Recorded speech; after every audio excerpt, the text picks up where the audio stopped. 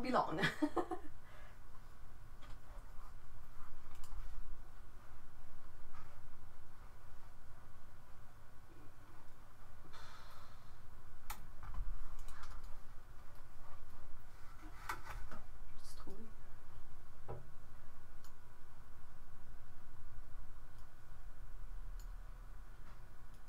Okay.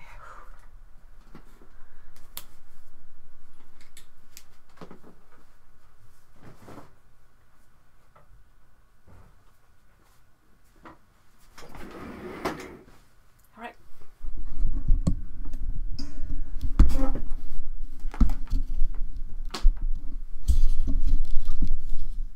All right. All right.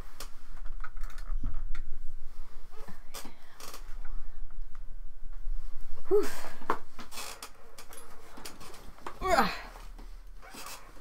So, is this working?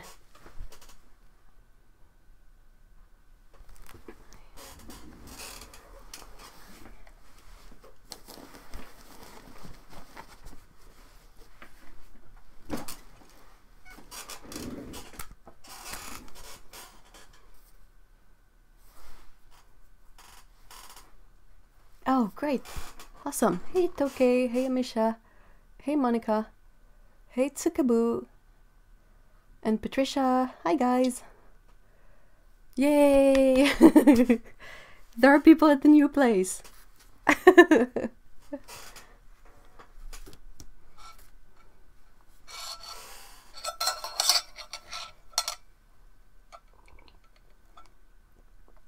have coffee. Coffee.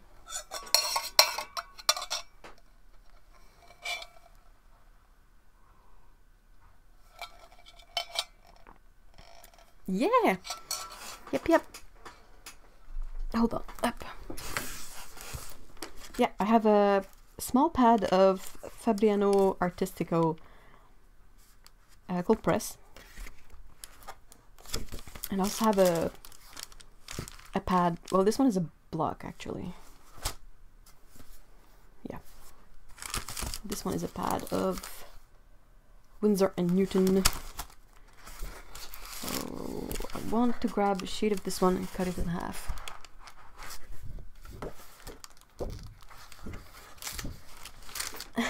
five by five. Hey Marla. Me, myself, myself, and who are and I. But anyway, hi, hi Bluesman. Hi Sarah. Hold on, I need to get the um, the cutter thingy.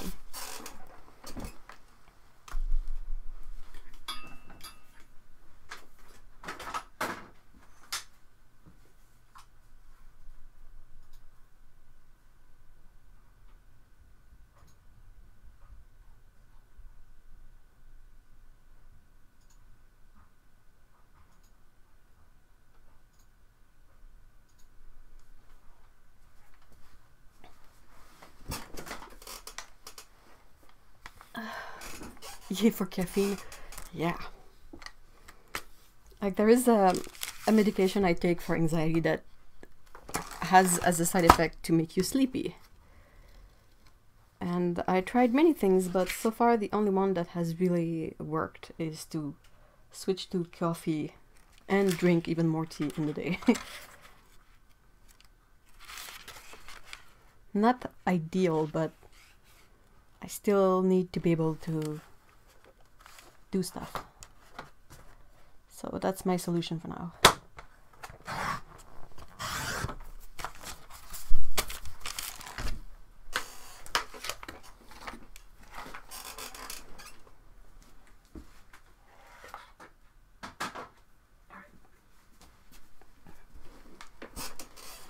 Why did you decide to make another channel?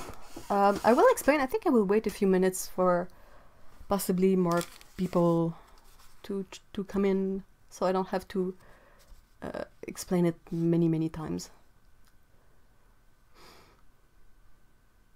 I have Mountain Dew kickstart for my stream juice today. Ooh. So 5x5 means the signal has excellent strength and perfect clarity. Oh, nice. Awesome. Hey, Anna. Hey, Kukatsunjan. It's been a while, I think. Hey, San. Hey, the nutty printmaker. Hi, guys.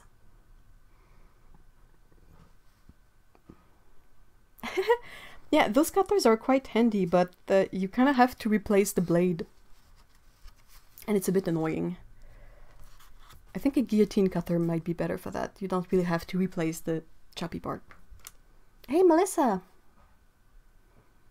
Oh, your son's current play. Awesome! Uh, break a leg. yeah, that's the issue with the the the cutter, the trim trim cutter. Anyway, um, is that if at some point they decide to stop making the the blades, the replacement blade for it, you have to buy a whole new cutter. That's so silly.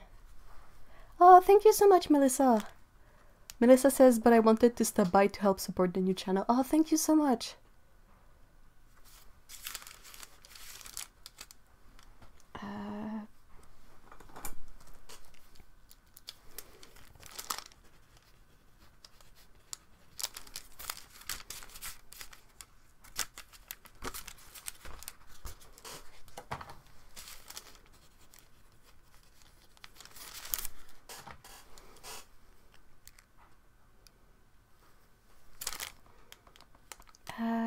Says, uh, Ev found out the reason for my laptop crash was a power surge. Almost lost a new laptop this morning. Now I'm on battery until it's started. That sounds awful. You would think that the people who figure out power and electricity and stuff would possibly consider not um not setting it up so it surges. I don't know.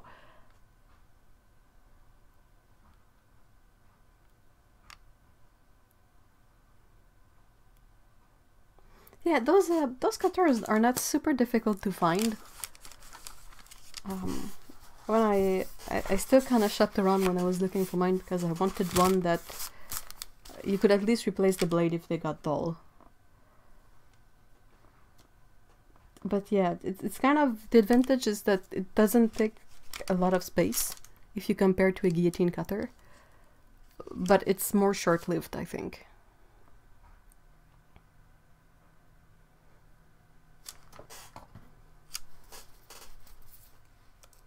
All right so yeah the new channel um i was well i was chatting with otto and we were talking about youtube stuff.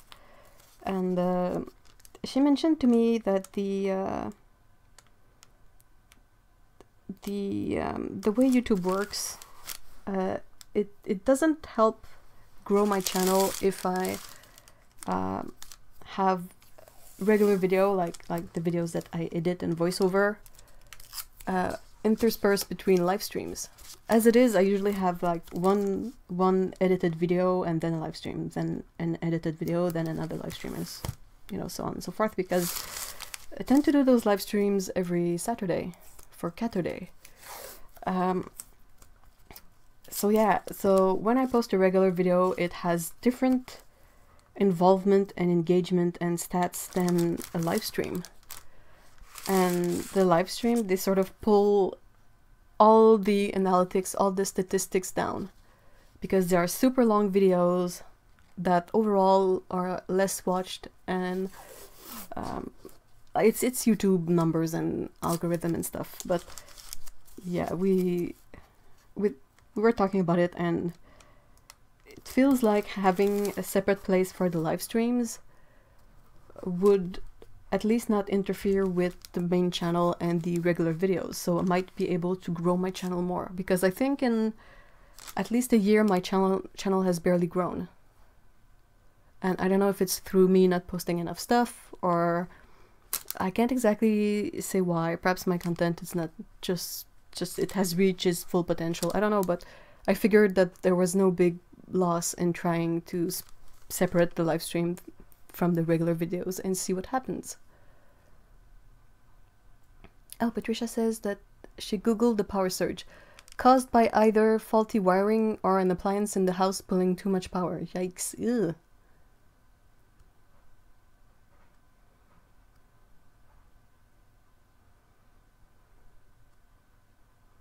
It's okay, Amisha, no problem. As long as it doesn't fall into like absolute mayhem. Letter mayhem, you're fine, you're fine.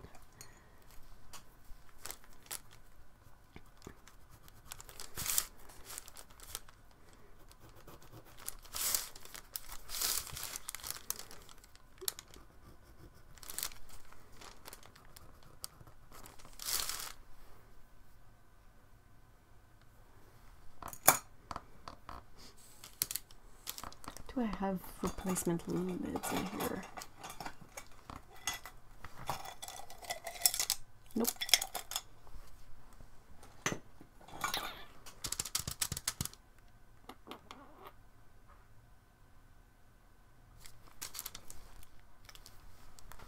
Hold on. Typing is always hard. That's very true. Hey, Alex. Hi.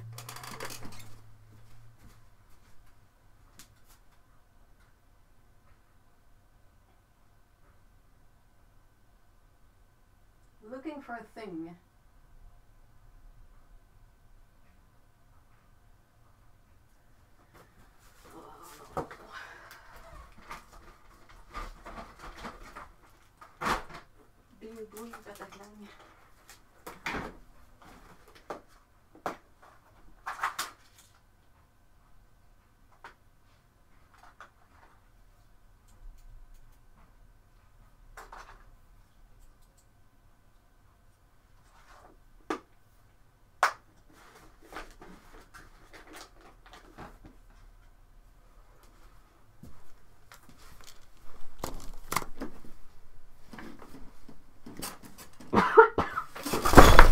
Ah, Jesus. Sorry about that.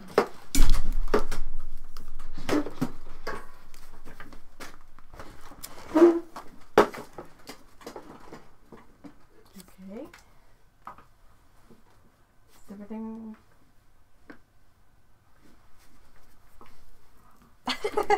Mayhem.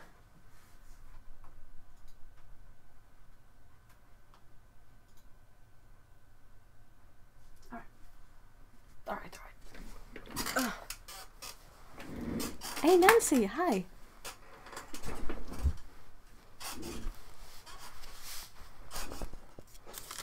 Yeah, that that fell down.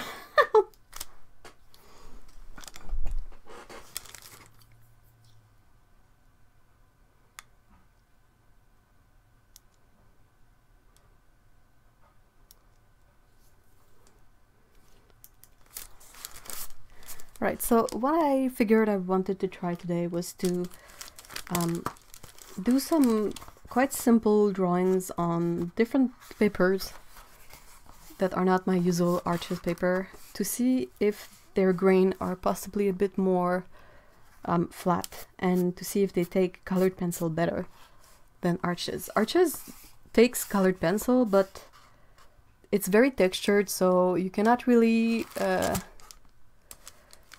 you cannot really be super precise or like if you want the grain to be less present it's difficult. Hey Otto! Oh no! I've been trying to change my flights to Japan for the last three hours and it's not it's not coming through.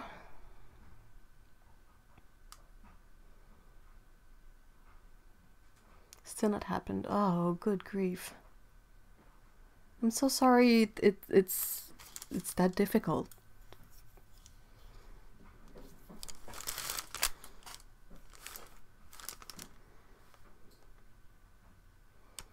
Yeah, I agree. The 50 facts about Otto video was really great. You said a thing in there that uh, made me laugh because you said you don't read fiction. And I was like, oh, oh, that's possibly the, the first thing between us that is drastically different. I think almost everything I read is fiction like young adult fiction books. Not that I read a lot, but whenever I get to it, it's usually like that stuff.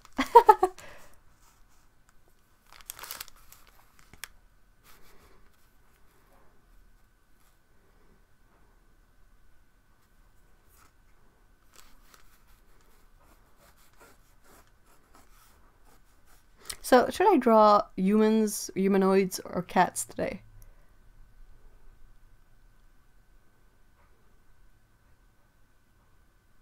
Wait, what? But it says they will change flights only if I pay a lot more than just the flight changing fee? But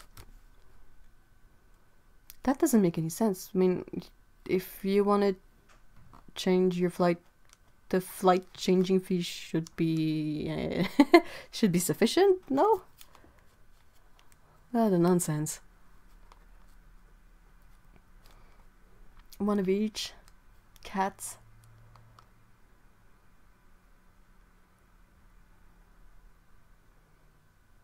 Sometimes you just need fluffy nonsense to get you by. Yeah, that's basically my approach to YA, and it's it's like super. Sometimes it, it gives me like drawing ideas, so I, I doodle fan art and whatnot. Since I'm I'm possibly more. My tendency is definitely to draw, um, um, not abstract things, if I can say that.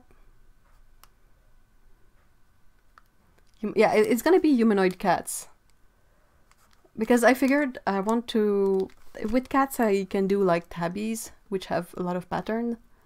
Z. and I also printed, and you can see how my printer is absolutely um, trippy. But yeah, I, I printed some sort of references for embroidery just to see how that would translate to watercolor and color pencil possibly.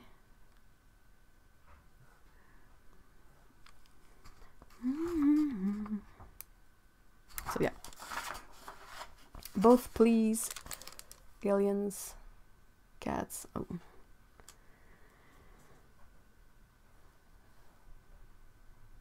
Okay. I need to grab a, another book for cat references.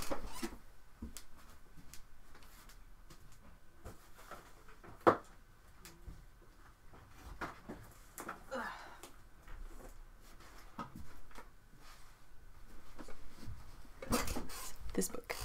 You guys have seen this one before. Alright, I'll start with a cat.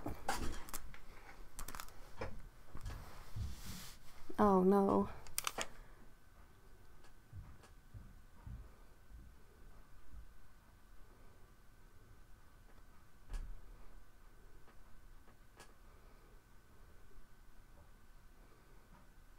If you have trip cancellation insurance, I would cancel and rebook. It won't kick in because I am cancelling it rather than the airline cancelling it. You would think that with everything that's going on with COVID 19, they would possibly be a bit more um, accommodating.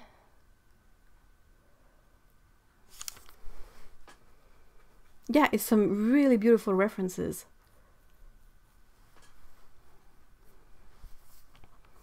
What a shame that they printed so badly though, but...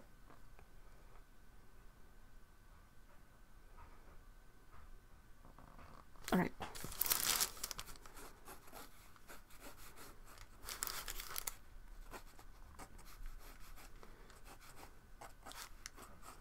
And I picked up, uh, it might not show a lot, but I picked up a, a pencil with a colored lead because I will not be inking this technically. I will be like cleaning up the line work as best I can, but I will be directly painting over it. So I prefer to have colored lines for that because graphite tends to dull everything.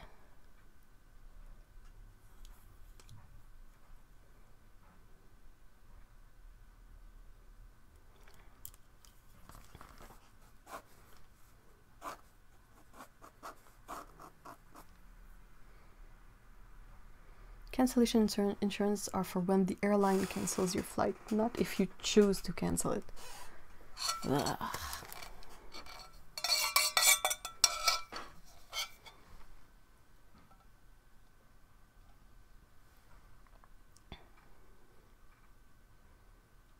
It is really annoying. Like it's it, they are still getting the business just on a later date. Like why why?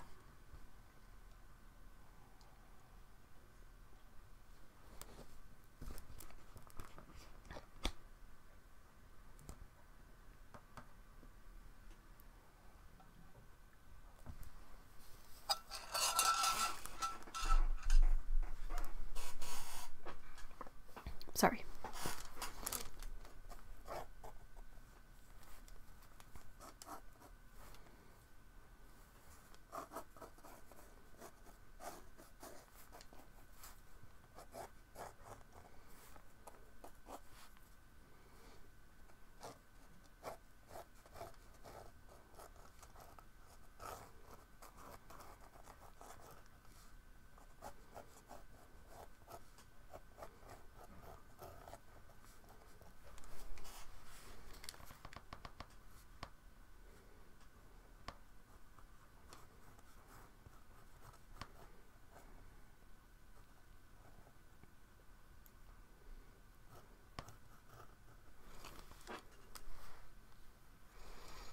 Tomorrow is uh, oh, Fastelavn. Sorry, I probably said that all sorts of wrong, but which is a Danish tradition where you fill a barrel with candy and beat it like a pinata, a pinata, and the person who hits the barrel and the bottom falls become the cat queen.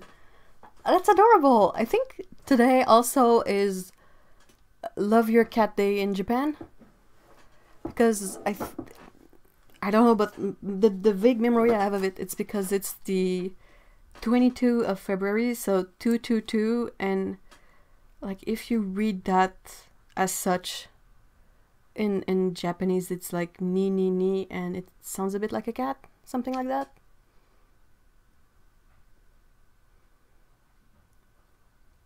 Oh, it is British Airways.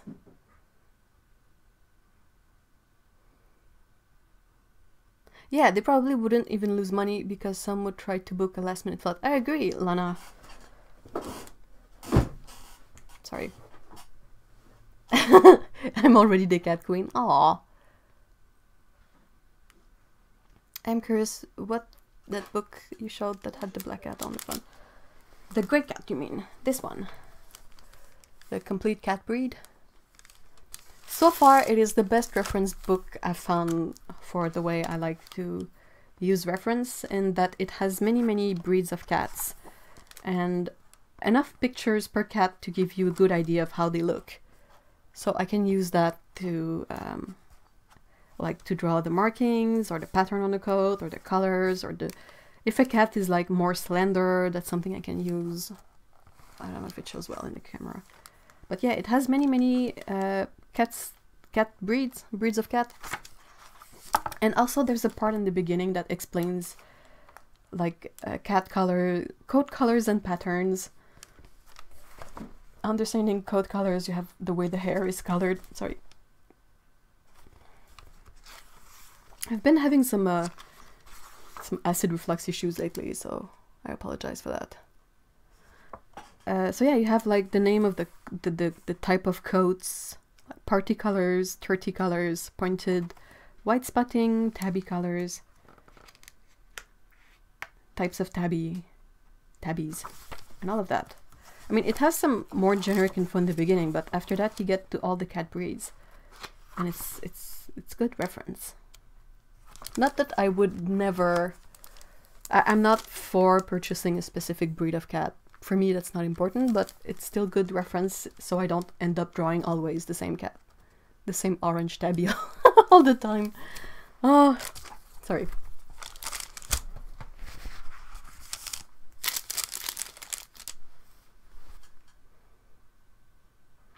Then the person who beats the last plank off the barrel becomes the cat king. And the reason to why it's cat queen king, it's because of the old days. You used to fill the barrel with what? No! Uh, that took a turn. You used to fill the barrel with cats and beat them to death. No, no, no, no, no, no, just no.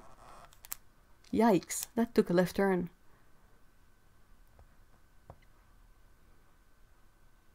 Yeah, yeah, the kitties in the book, they, they seem to be doing quite good. Hey Lee, hi! I really enjoyed our, our, our talk of a banana candy yesterday. This was funny. It is a DK book. It is, um, I don't know if you guys can see ISBN on this and pause eventually to see it, but yeah, it's a DK book. It's titled The Complete Cat Breed Book.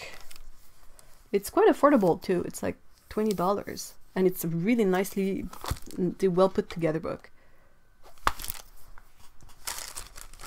It's a that like that's the one I like to use to reference um, when comes the time to color a cat, to paint the coat and all of that. For poses, I have a different type of books that I really enjoy using because the poses are really natural. But sometimes you have a harder time seeing like how the patterns are or what's the markings and all of that. Hey, Mikey!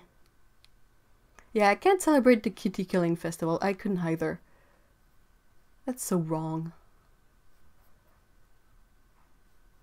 It was back in the Renaissance. Yeah, it's a good thing we got rid of that, though. Good. Good everything. Stop it.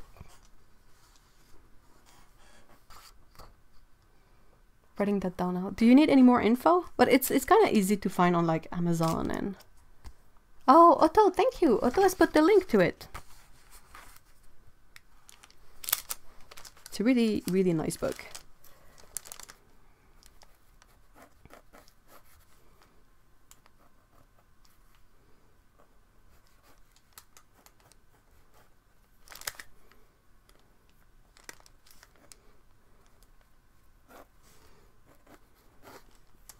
So there's always a couple of funny things when I draw cats. Like they usually don't really have shoulders. The default way I draw cats, like humanoid cats, they don't have shoulders, so it's really it's really difficult to sort of like implement elements that are designed to be on the shoulder width. Yeah, we're fine with um do you still pre-stretch your paper using the Ken Bromley or auto stretcher? I don't do it enough. Um, you really have to think in in advance to sort of set everything up, but I miss it. I miss uh, the auto stretcher. I have a bit of a harder time figuring out how to uh, efficiently stretch the paper because that's the one I've noticed. Like, if I stretch the paper on it, um, it's a bit uh, difficult to paint directly on it because of the border. And if I remove, you can sort of remove the borders and, and remove the paper once it's stretched and dry. But if I cut it and glue it to something else, it still kind of buckle a tiny bit. Though the, the Ken Bromley stretcher is absolutely amazing, nothing buckles on there. But yeah, you need to have space and time to prep it up and let it dry. So I should always prepare sheets at the end of the day, but I always forget. So that I can leave them to dry overnight and I forget. But yeah, oh my gosh, the, the Ken Bromley one is amazing. I wish they made a, a smaller one. I always end up, I have the quarter imperial sheet one, which is still kind of big, and I always end up making two drawings on it.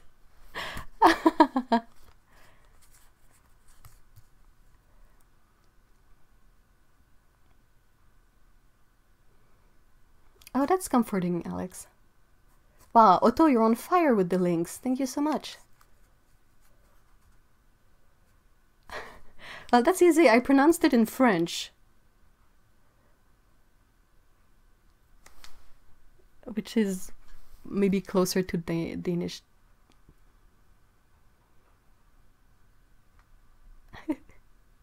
hey, Kevin, hi.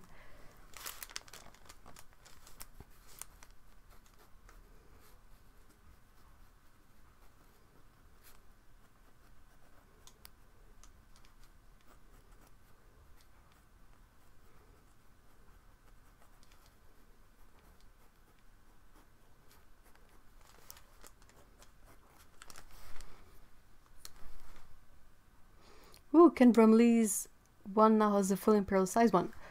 Um, is it is it new?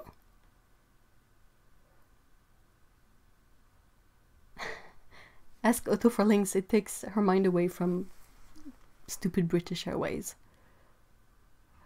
But yeah, the um, the quarter sheet stretcher by Ken Bromley. That's the one I have. It's it's really nice, but like my space is really small, and I usually paint the bigger the biggest I paint is 9 by 12 you've seen me I usually paint like 6 by 9 so having this big panel I always end up putting a, a tape in the middle and splitting it in half and then I, I work on one side and then I work on the other side and I'm all cramped up because space. But yeah, that's probably something I should fix on my side, not necessarily something that that Ken Bromley should cater to. you just applied to art school for animation. Which school, Kevin? What would your fab size be for a Ken Bromley stretcher? Um, if there's something that can accommodate 9 by 12 so the printing the painting size would be smaller because of the way the paper is um, like inserted in the stretcher and all of that so you would end up with a smaller surface but I would probably be able to still get a 6 by 9 in there easily maybe a bit bigger. And I, I need to experiment more with the auto stretcher but it's really um, different. Uh, the do, do I need to do you guys have them in mind sort of what they look like? Because the, the Ken Bromley one is made that you use rubber um, tubes to sort of insert the paper in in the stretcher itself and it's really taut and taut taut it's really really stretched out well and when it dries it's not gonna bulge it's not gonna do nothing but be fun to paint on and another thing that I appreciate of that one is that it's everything is paper. You don't have any borders, you don't have anything. The paper goes all the way to the edge. But um, if you have the auto stretcher, it's made that you have a, a sheet and then you use sort of things that you clamp to the sides to hold the paper in place. And those either they they kind of leave an imprint on the paper so um, that's a bit unusual and it's perhaps a bit more difficult to really get the paper stretched out well. The thing is, is with the Ken Bromley stretcher is that you can get 90 pound paper and it it's just as good. If anything, it's easier to set on the um, on the stretcher because it is a bit thinner. So once you soften it with water, it's easier to taut. Okay, taut, taut. Uh, it's really easier to work with thinner paper, like the 90 pound paper, so it's a bit less expensive in paper too.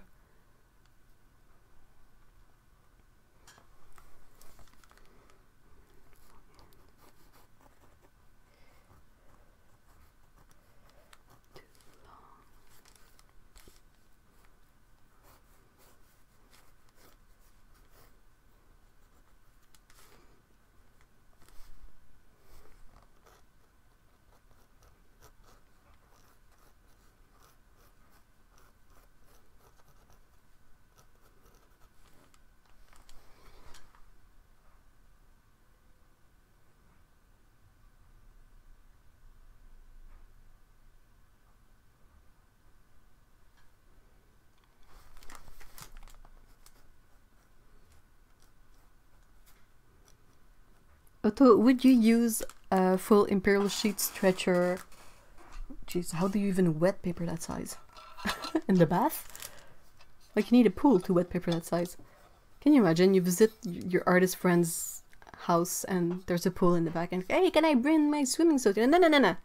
The pool is not for swimming. It's for paper. Shoo! Don't get bacteria in my paper pool.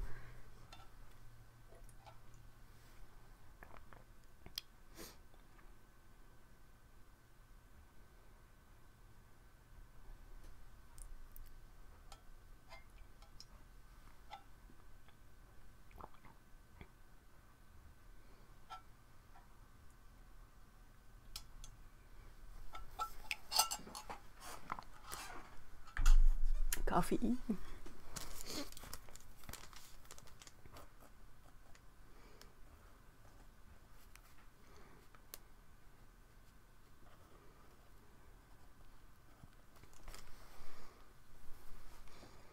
How much paper gets pulled into the Ken Bromley?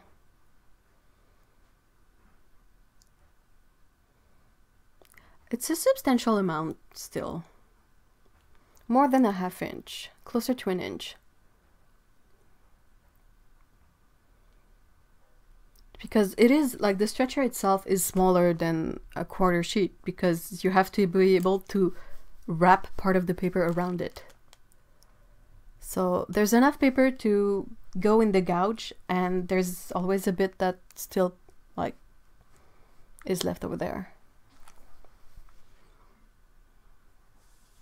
There, uh, they have a video explaining the process of uh, stretching the paper and setting it in the uh, the stretcher, and it's a really well made video. The cat in my drawing looks smug. Yeah, I like smug cats.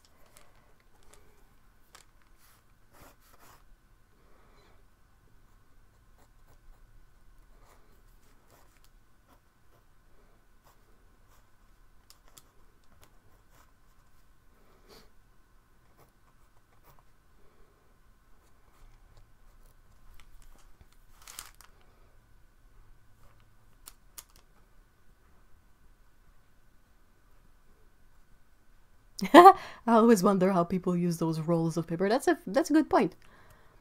There is some paper waste, but regardless of the stretching method you use, there is paper waste. If you use the brown gum tape, you cannot remove that from paper, so you, you necessarily have to cut that off.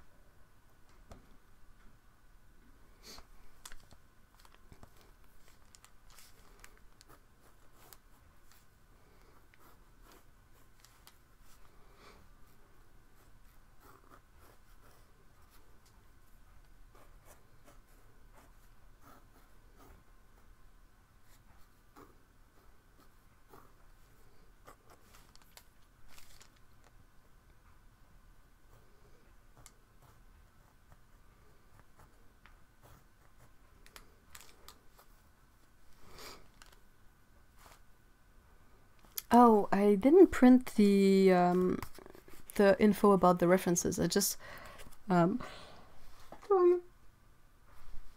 Oh, sorry. I have um, a Pinterest board of various clothing reference, and I don't necessarily have the info next to it. Oh, well, Otto has put the video about the uh, Ken Bromley stretcher in the chat.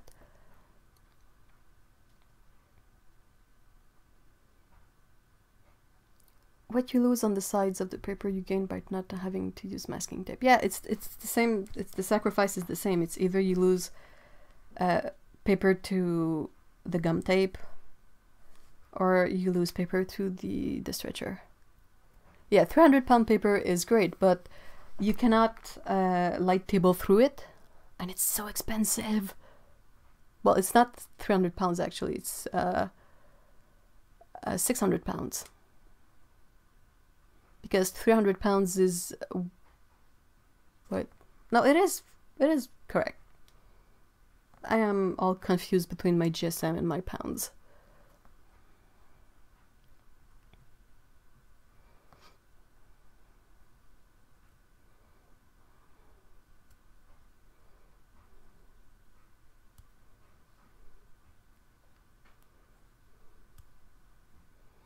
I saw a guy with the roll on the floor and the top taped six feet higher with. yeah, the thing with rolls of paper is that it's difficult to get the, the roll out of the paper. I look at the 300 pound paper price and my wallet screams in agony. Mine too. I agree, Tsukabo. it is it is like 20 bucks for an imperial sheet of it.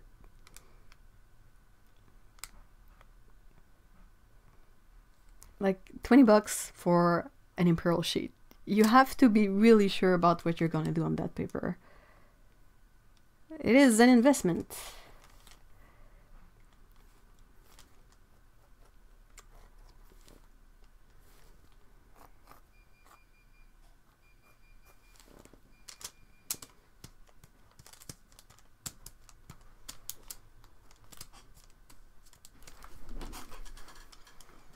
Oh, 400 pounds, wow. Yeah, if you want to trace on thicker paper, you have to use tracing paper, but that can be a bit messy. Messy? Not messy.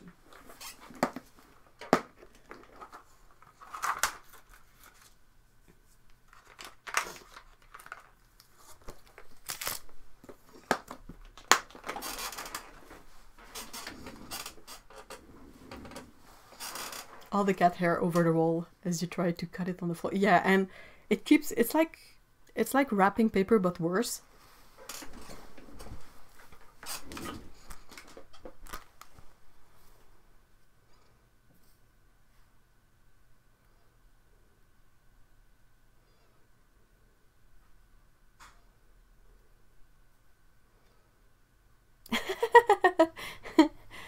Amisha says, every time I wince at the price of watercolor paper, I just look at the price of painting canvases and cheer right up. Is it expensive? I've never really had to buy canvases. And in that case, the cats must sit on it because it's convenient. Yeah, and if you are absolutely unlucky, the cats are gonna scoot on it and wipe their bum on it. And then you're gonna be like, but, but, that's my, uh, that's my $200 roll of watercolor paper. Can you please not wipe your bum on it?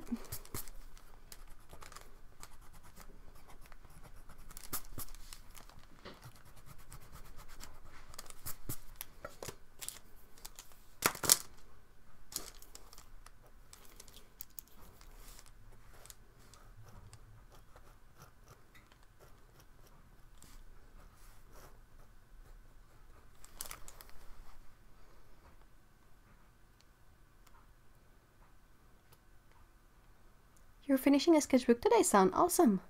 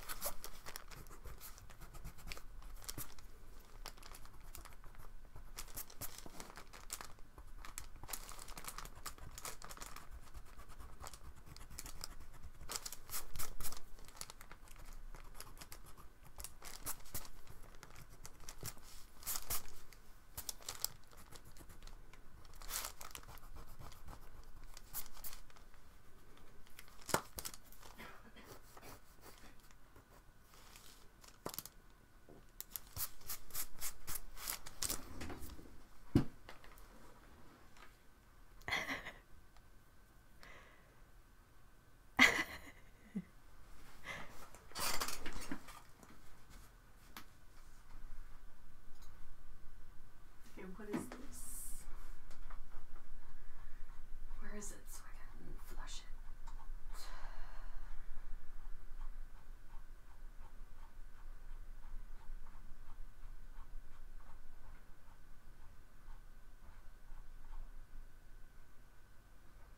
Yeah, you're all. Bye, bye, bye, bye.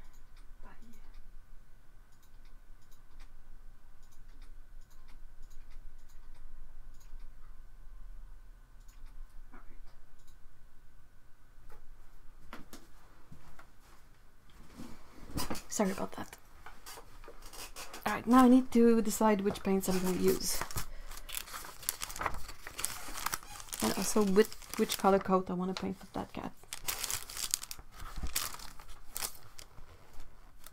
Oh jeez. I feel so sorry for Persian cats. You know the one with the super smushed nose. Like it's not it's not great for them. They don't get to experience like easy breathing. It's not nice. Though that one is it doesn't have a squish nose, but it's adorable. A designer dwarf cat. Never mind.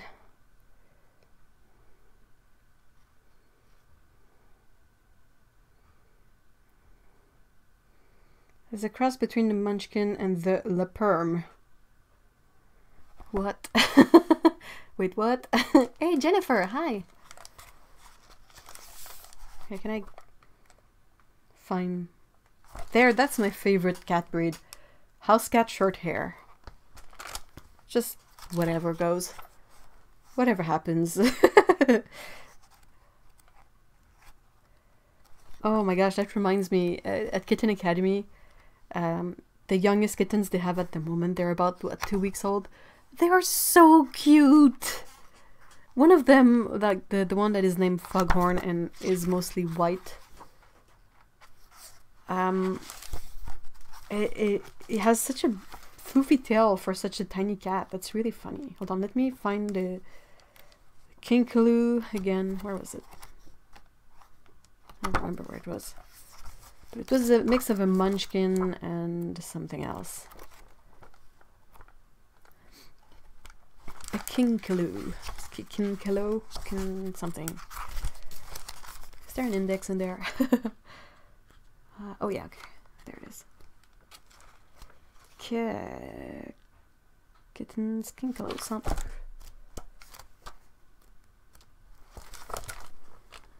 I don't know if you guys can see. The Kinkalow and the Skookum. I hope it is, Lana. I don't know if that would be the case for every single country, but... Oh, Bodhi was a munchkin! Oh my gosh! Like, if it happens, it happens, but to breed the cats to get that result, that's something I don't appreciate. yeah, I agree. Um, Otto says that Lana, ha, ha you guys have the best animal welfare guidelines, especially for rodents. That is that is like good to to see. But yeah, it's the Kinkalow was made by crossing the Munchkin with the American Curl. Munchkin is basically a cat with really short legs. On its on I mean on its own, I think it's just something that can happen.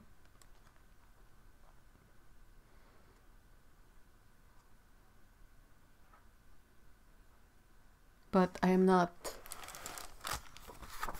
Ugh.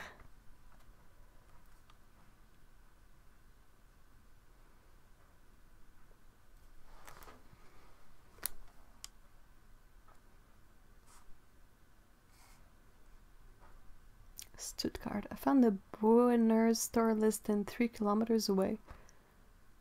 Well, ooh. Yeah, the brachycephalic flat face is, is not ideal because it's, it gives, gives them a hard time breathing. And I just don't think it's... I mean, if it happens, it happens. Because I think that it technically is a genetic problem so assuming you're not breeding a long line of short-nosed cat, flat-nosed cat, and suddenly you have a kitten that has a flat nose, well, it's just what it is. But to specifically breed this characteristics, uh, this characteristic in cats, oh, Dratty, hello, um, that's not cool. I don't think it is anyway. I'm really bothered by it. Alright, Give me something with a bit of a challenge, pattern-wise. Oh, that's peculiar. A Seychellois. Distinctively patterned cats found in the Seychelles. First crosses were between a Siamese and a Calico Persian. Funny because they don't have any kind of long hair at all. But yeah, I mean, Good grief, breeding cats for specific goals is just weird. There, that's a pattern.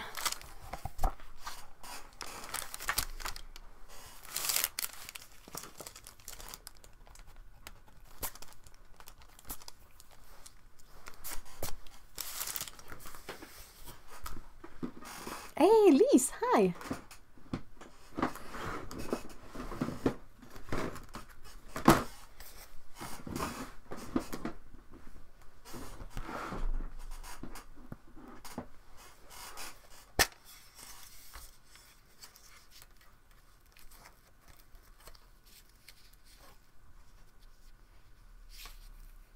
Wiener dogs have many spine issues because of their short legs. That's one thing.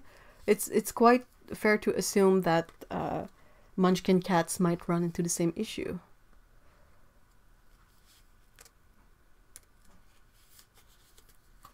Yeah, that's the thing, though. It it probably started as a few cases of of shorter noses, and some people thought they would breed this characteristic more tightly in and uh, it's just I think dogs have it worse in terms of, of breeding and all of that. It's fairly easy to find just domestic cats that are just a mix of whatever.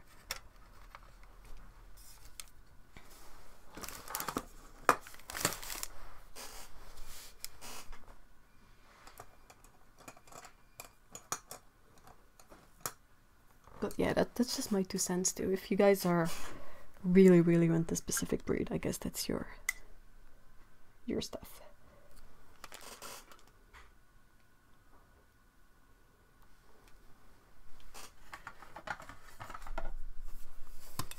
Long Longford Him Himalayan Siamese mix. She didn't have the smoosh noise with the havoc level of floof. Oh, that's lovely.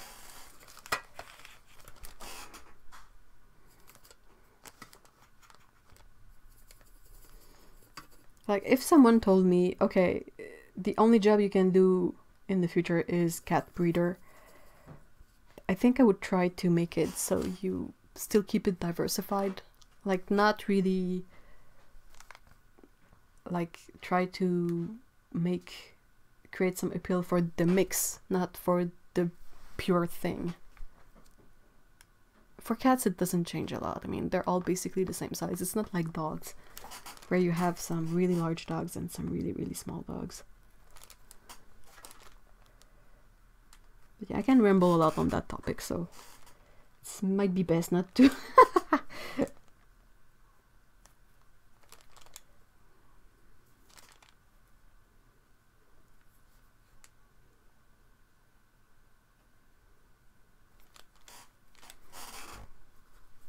so I think this is my second time using Fabriano paper only because I've used the samples that you can get from uh, um, Jackson's.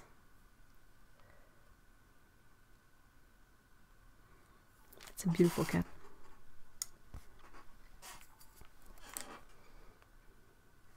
Pooty had no issue, but when she was pregnant I was worried about her back. She loved running up and down the stairs with her toys, more like hopped she was a feral, so not bred. Yeah, that's. I mean, I mean, for Munchkins, it's really just a genetic thing that can happen, which is, I guess, kind of possibly the way that every specific characteristic happened a long time ago before they started breeding them specifically. Like you would have a litter of kitten, and one of them would have a squish nose, a squish nose.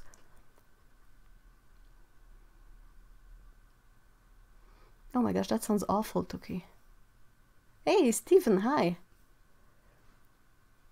Toki says, when I was in Turkey on vacation, there were stray cats everywhere around the hotel, and they were all hurt with scars and bleeding. Yeah, th there is a lot of stray cats in uh, Turkey.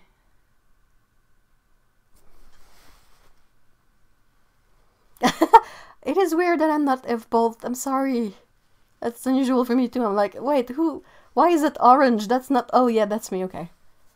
Yes, I am using the Schmincke paints today. Since I'm using unknown paper, I figured I would at least use paints that I know well enough.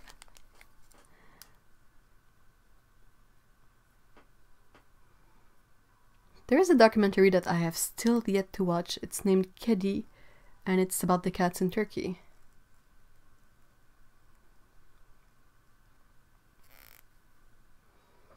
The gerbils are settling into their new cage. Yay! Are, do they spend a lot of time uh, in the uh, bedding? I mean, if I was a gerbil and I had like a, such a huge pool of bedding, I think I would dig so much in it and just like have fun because it, it sounds fun, you know? like, hey, I can spend time just buried into this floofy stuff that is not super heavy, so I don't feel squished, but at the same time it feels safe. Yeah, Schmincke. Well, the documentary is called Kedi. K-E-D-I. And it's, uh, it, it, I mean, I've seen the trailers and all of that, and it took some time before it was available and I bought it, but it's a Blu-ray and my, my computer doesn't read Blu-rays, so I, I really have to, um, uh, make a um, make it a thing at some point to settle in front of the TV, maybe crochet while I watch. Are you guys going to watch the new live action Cats movie? Nope, not me. Nope, nope, nope, nope.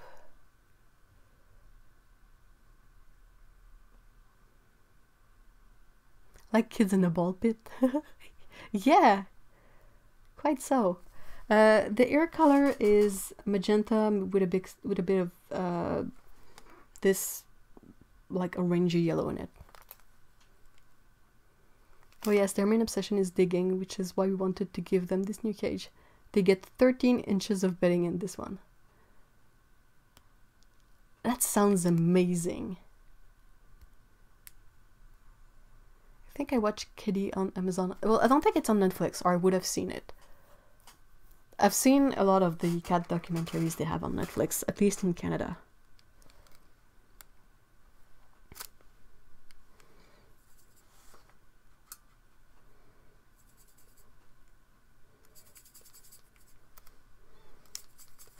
The one about the tigers of Scotland is really, really fun to watch. They are so cute. What a cute um, wildcat, tiny wildcat. I'm painting. is on. My camera is all. Oh, I think my camera moved when the light fell on it. Which, you know, makes sense.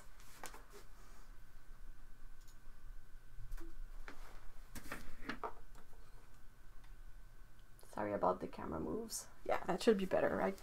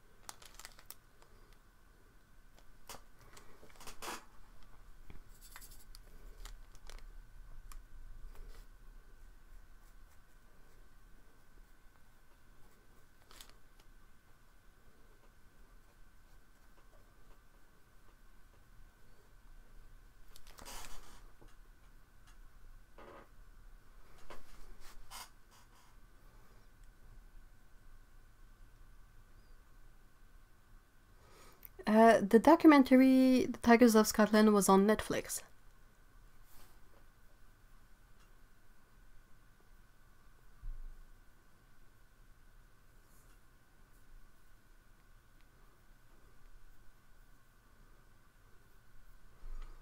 Oh, uh, the pink handled brushes, I don't think you can find them anymore. They were a special edition on uh, the Trekell website. It's kind of sad that the uh, the writing is already wearing off though. But it was the Mab Graves collaboration. They regularly have limited editions. Like I have a few of those because they're really appealing. This one was the uh, collection with Glenn Arthur.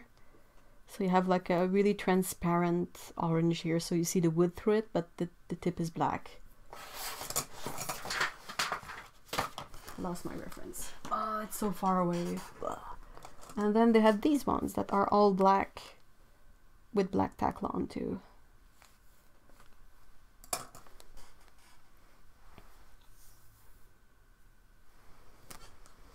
I gotta go fish up my reference, be right back.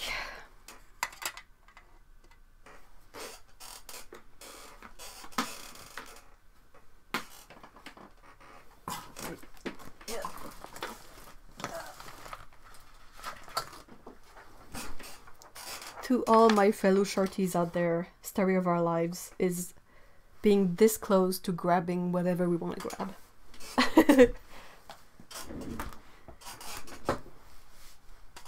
well, I don't know if the Tigers of Scotland documentary is still on Netflix, but that's where I watched it. Um, yeah, I'm pretty sure it is. Well, that's where I watched it, but I don't know if it's still there.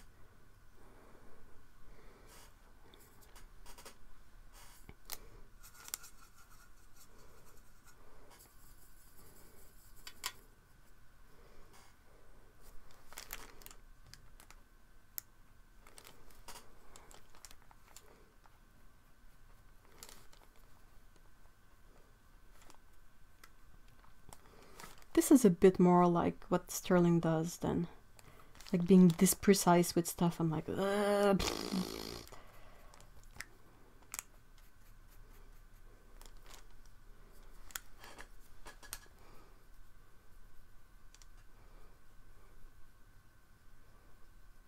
Yeah, it's Mab Graves, uh, M A B Graves.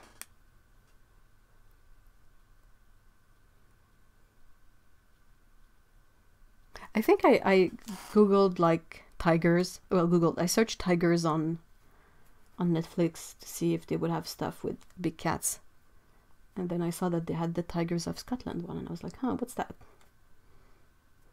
If if Scotland has tigers, definitely another good reason to move my ass there.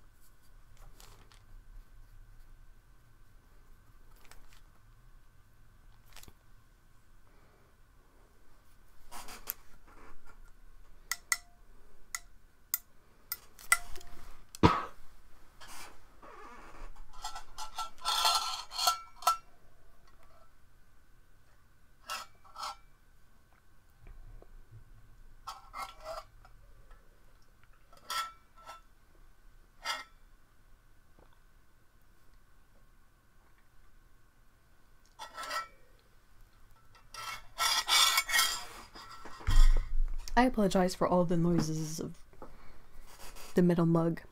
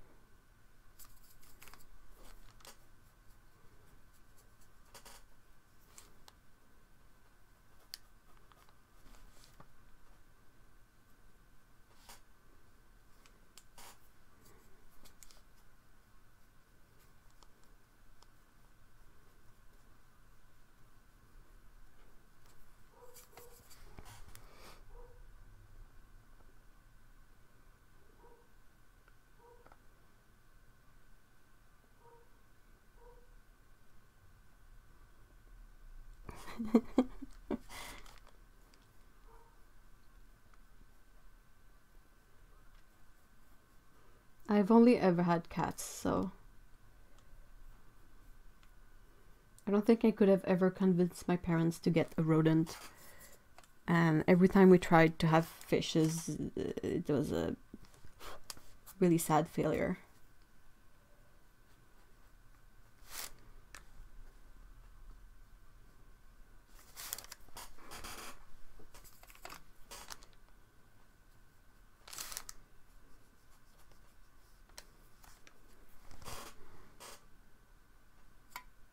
Oops, that's not.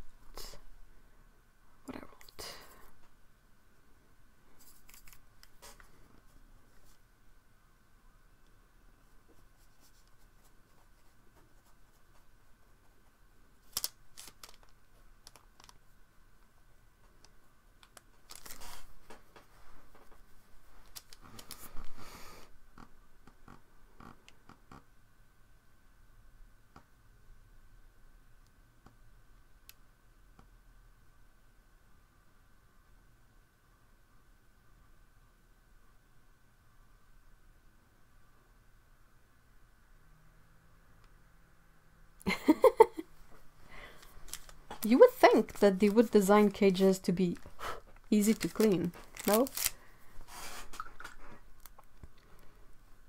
It's a bit like the um, the the trap of the um, the cat litter box with a cover. You you would think that it works well, and you would you would think that it's gonna be like, oh yeah, but the cat is gonna be you know, everything is gonna be contained within this this box, and it's gonna be awesome, and it has a filter at the top, and yeah, it's nice and cool, but yeah, that that doesn't really work out that way. First of all, the cats. I have fish blood on my hands. Do I? There's something I don't get. but um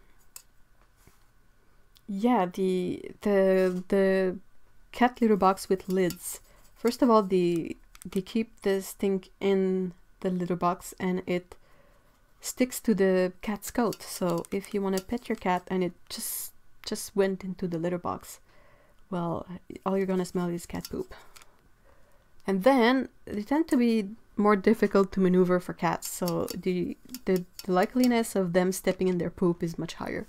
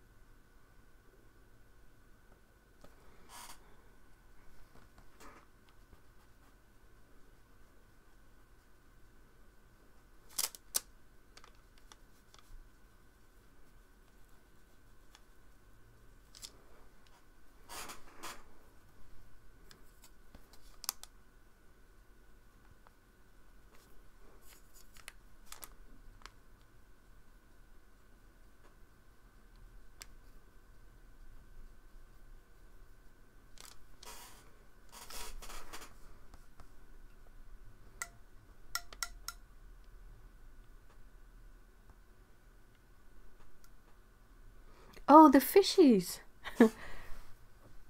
Sorry, I, I don't have a good... um... Yeah, that that's what I don't have good. but yeah, I don't know why we were we weren't able to take care of fishes, and it would be so sad every time that at some point we just stopped. But you know, most of the fishes I had as a kid, they were never fishes that I had bought. They were always like things in school where you, oh you just won a fish and then you would go home with this fish in a plastic bag and your parents would be like what am i supposed to do with this now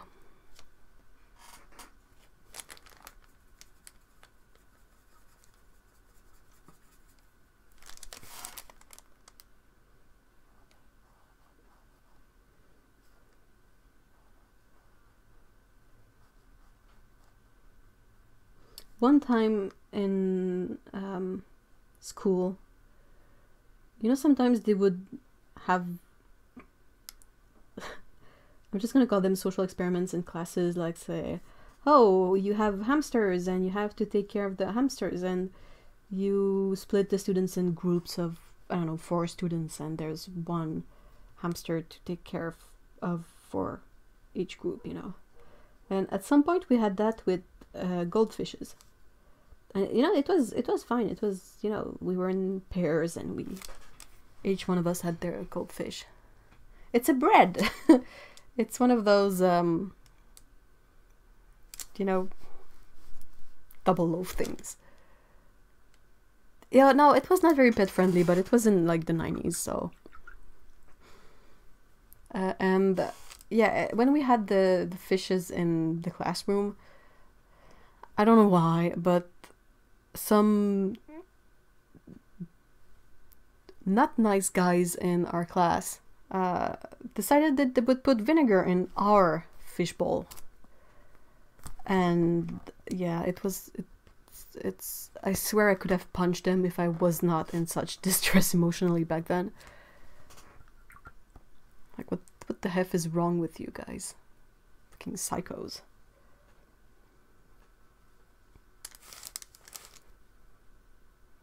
Your class have a class pet? At some point, we had a few um, hamsters in like biology class. But it it sort of was always a really weird endeavor, and I don't want to get into detail about this anecdote because it's it's kind of a really weird one. It, it's not necessarily super duper nice, and I know I don't want to cause distress for people in chat, but uh, I hope that they've stopped having class pets because the the overall success rate of those is not super good. You know, if you think back back on it, it's kind of crummy. What the? What's that? Application. This paper is weird.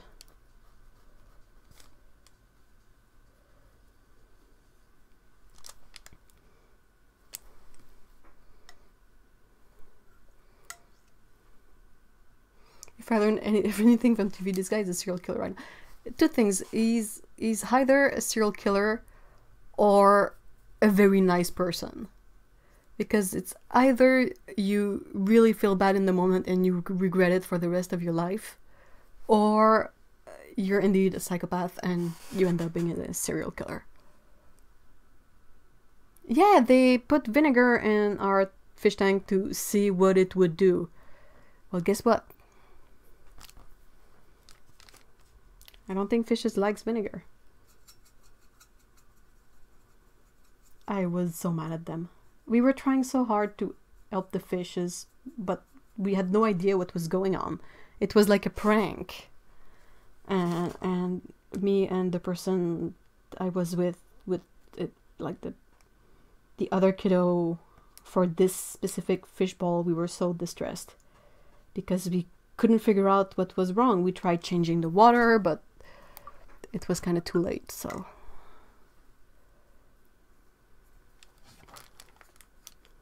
Yeah, can we just stop having class pets? How stupid is that?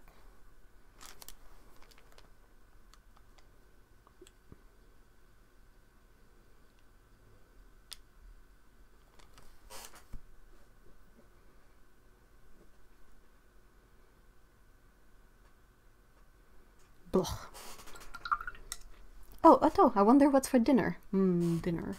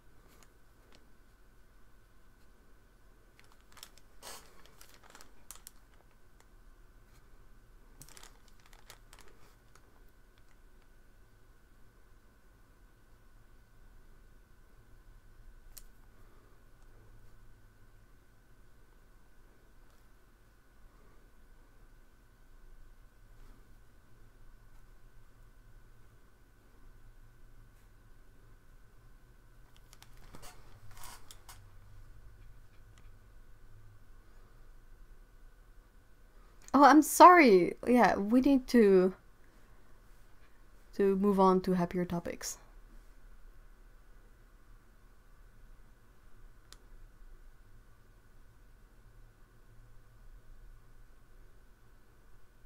Yeah, the only class pet that I can sort of think is fine is stuff like um, fruit flies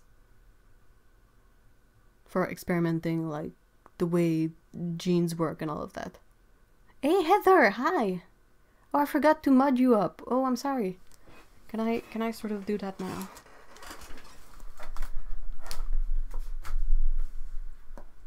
Let's see. First I gotta find where my cursor went to. So Miss Heather add mod. Yeah yeah.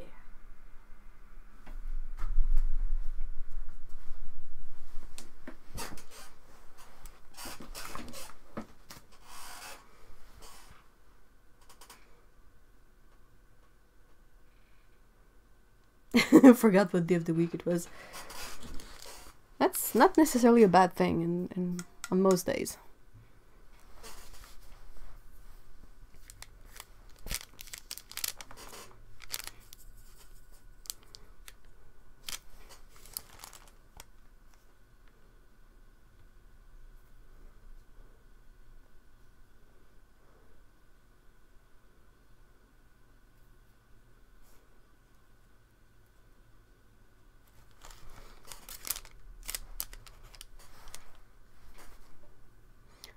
Happier topics like watercolor paints. Um, if you guys could see my stash of things I have to review, I, I really need to get on with it.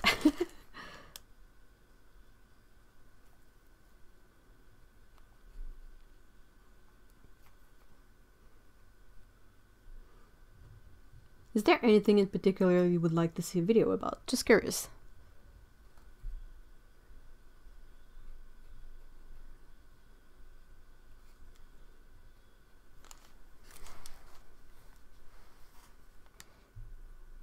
Silkworms as class pets. That's so not for you, Otto. I'm so sorry you had to deal with that. What's dinner, by the way? Not related to the topic one bit. Is it... Uh... Kebab? I am using uh, Schmincke. I used the magenta and yellow... I use the magenta... I used the magenta and this orange yellow for the ears. For the light gray I used palette mud that's probably um, ultramarine blue and one of those browns, probably this one, burnt umber. I used yellow ochre for the oranger markings. The eyes are this yellow for now. The bread is a mix of like burnt sienna, yellow ochre, a bit of orange. Belt is palette mud and the shirt is also a bit of a palette mud. But the shirt is super diluted yellow ochre, uh, palette mud gray, and a tiny bit of magenta in it. Chinese. It's everything. Oh no! oh no! Oh no! So hold on. It's um, battered deep fried carrots with uh, hmm. So gluten, carrots, what else? I know it's not nuts because nuts are too much of an allergy to be in there. So it probably has noodles and rice and tofu and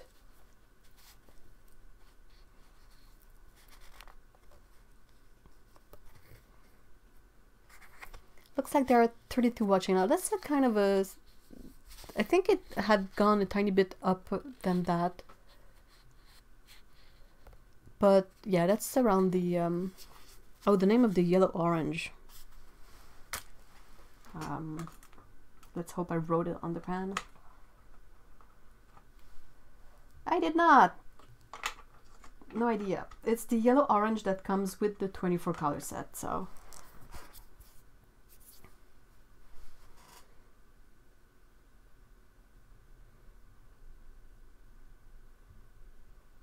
Trying to catch up on chat. Oh, why is it in top chat? YouTube, pain in the ass. Live chat. Why would I want to read top chat? Who needs top chat? No one. Oh, sorry. I'm just really, really annoyed.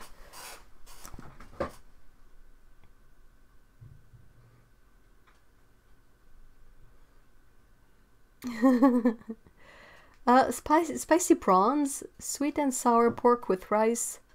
I do skip on the carrots though. I do have my limits on self-abuse. Well, I'm I'm glad. yeah, it's the one from Jackson's. I'm sure I have the colors somewhere, but oh, hold on. I think they're right there.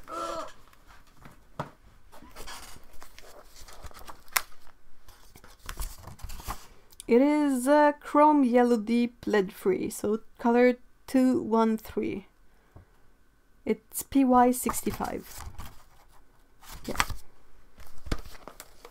Looks about right.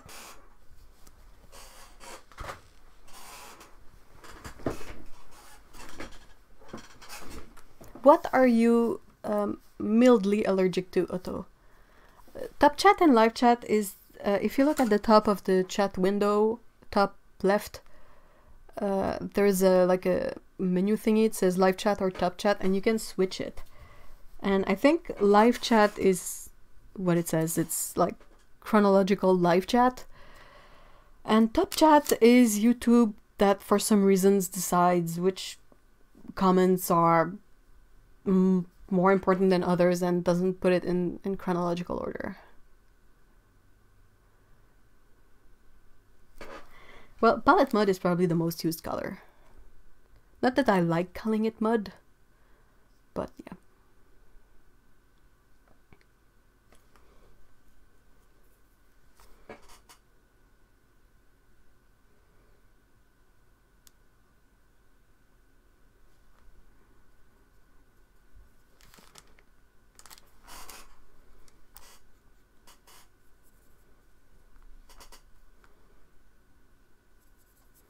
Someone talked about all the stash of stuff that I have to to talk about.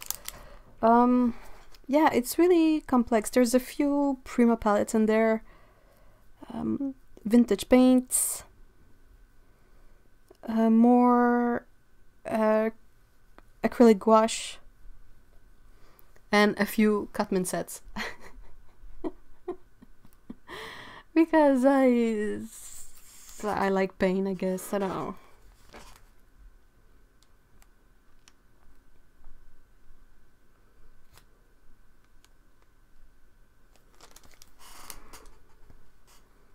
Yeah, I just don't like using mud as a descriptive for whatever colors on the palette.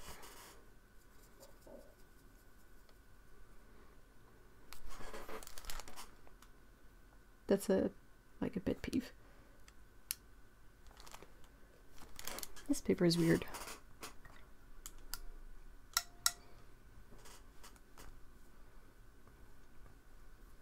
Top chat is no bueno.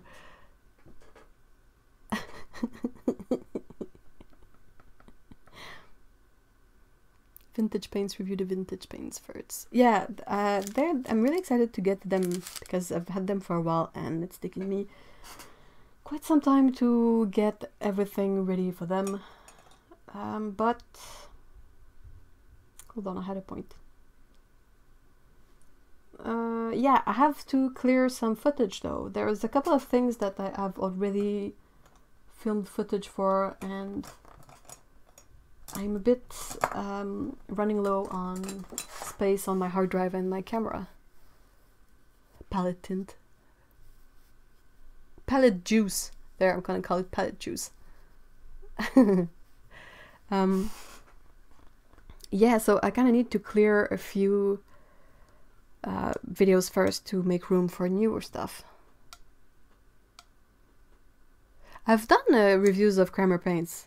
I've reviewed the Earth color set. And I think I've talked about uh, the other Kremer colors I have in a, another video.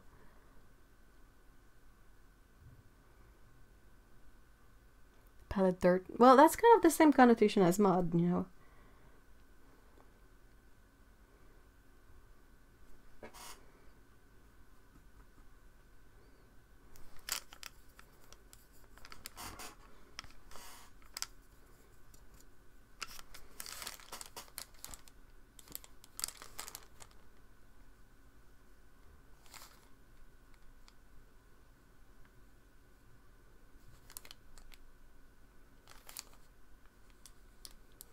This is a slanted edge Casaneo brush.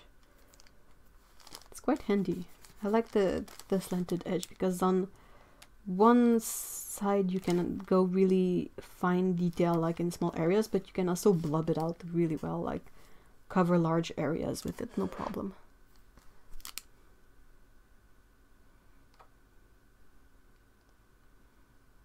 Ah, Chaos! Hi! Organic convenience mixes. So, OCMs.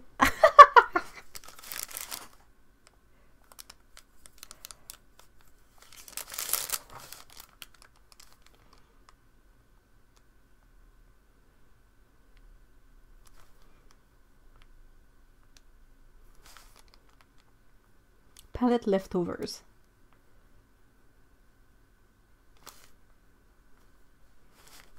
Let's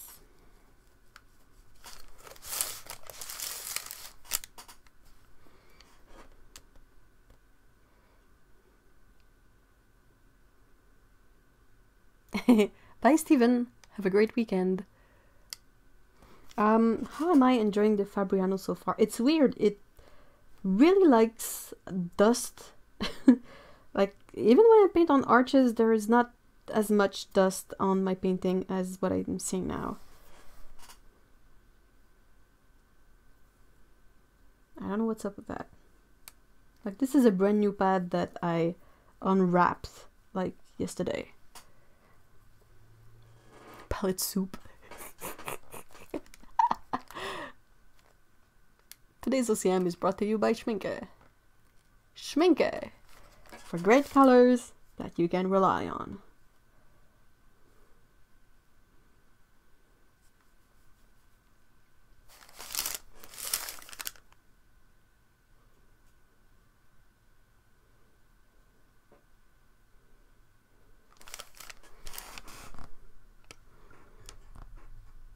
So I, I am not sure I would, like, I, I need, still need to get through this block, I guess, to really have a good impression. But if the impression stays the same, I don't think I would necessarily buy this paper again. Not that it's bad, but I mean, I wouldn't bother seeking it out since as it's more expensive and I kind of prefer the Arches one. Schmincke needs to pay. I wish they would. I'm like, uh, like not on purpose, not not in the goal of being sponsored or anything, but I am shilling really hard for Schmincke. Like they are my, well, I guess it's mostly because like if I were someone like Iraville with a really big, um, um, social media presence or something, perhaps they would consider shilling me a bit more, uh, shilling me, sponsoring me a bit more because it's always about what would bring them money but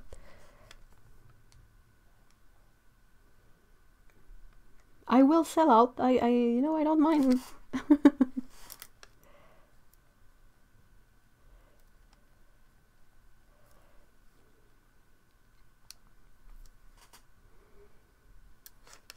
It doesn't um, show as much once the paper is dry, but so far I find that this um, paper when it's wet with a wash it kind of looks like hot press like you know it has this mottled um, look as if you had rubbed the paper so much it peeled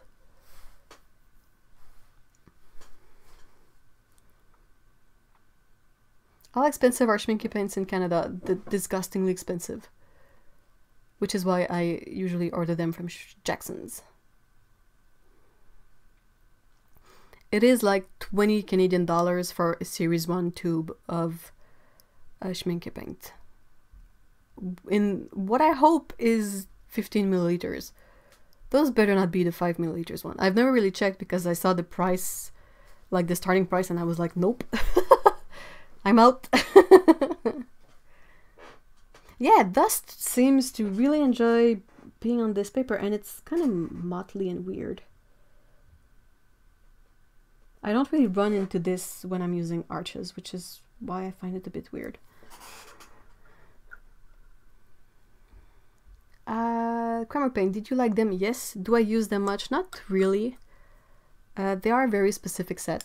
the earth color set is kind of unique and it's not good for every single purpose but um, then again I also have a lot of sets so it's kind of difficult to use them all sometimes I see a set and I'm like oh I wish I used this one more but then yeah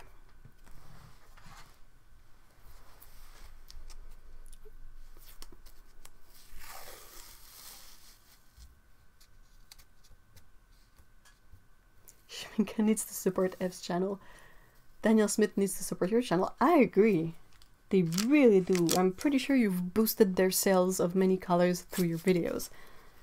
Kind of a bummer though how, um, I mean, from interactions so far, like Daniel Smith, they have a decent customer service, but they're kind of stingy.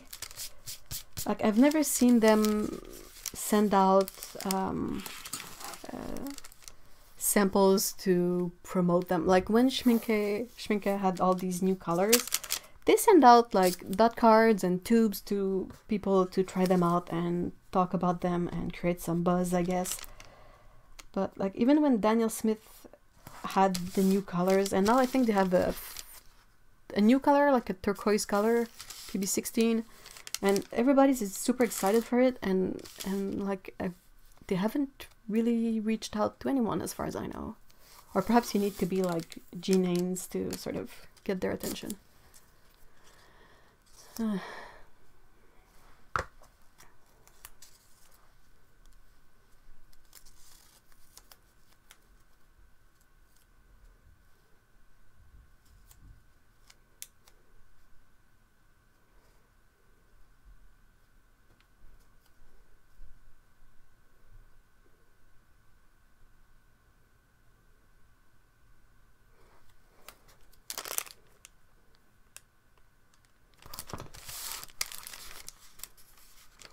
It is really different from uh, Arches, definitely. And now I'm moving on to a half sheet of a pad of Winsor & Newton Cold Press. Because I need for the other one to dry before I can put color pencil on it. Yeah, my goal is to add color pencils on top of um, those uh, test painting.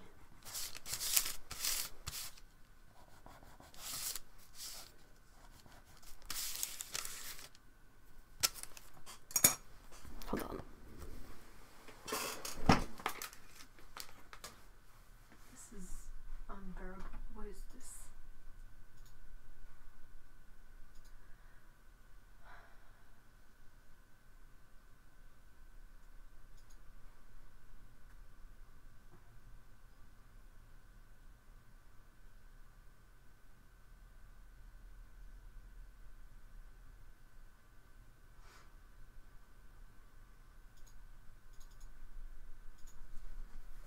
Also, I need water.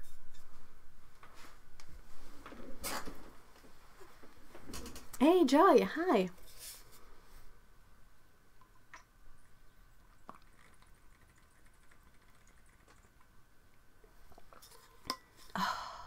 That's awesome.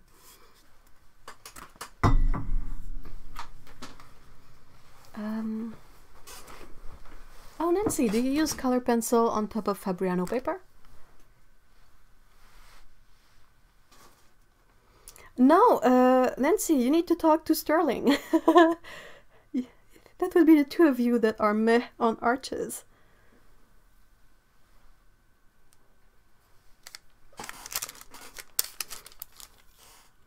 Now I'm gonna be super original and I'm gonna draw an elf.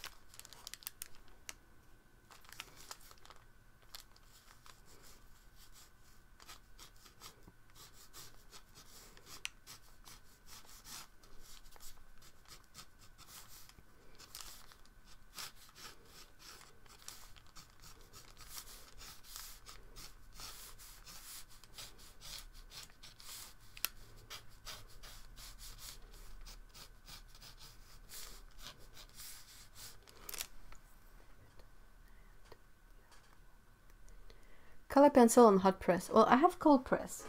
Oh my gosh, hot press is difficult to use.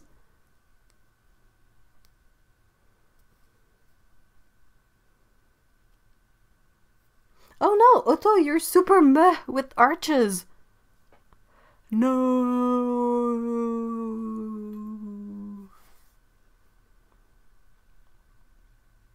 Yeah, that's true. The Strathmore 500 pre-cuts are quite smooth.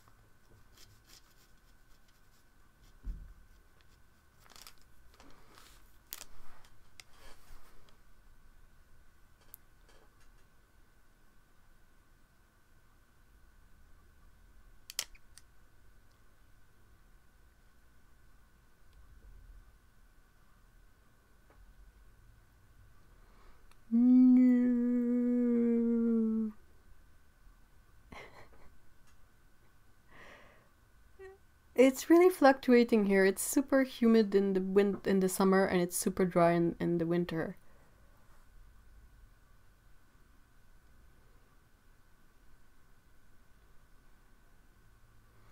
Uh, Arches hot press is a bit of a mess.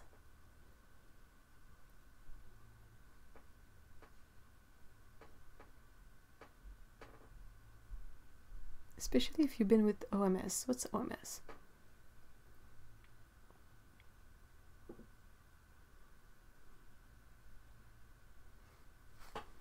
Yeah, uh, Curry's sell fluid a lot. I don't know why. It's it's it's yeah, it is what it is.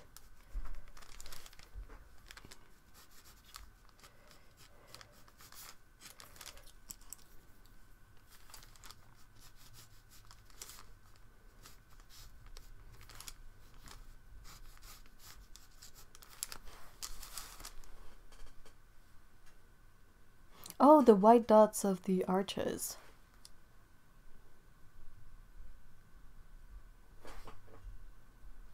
Huh. Do I have an arches painting nearby? Oh yeah.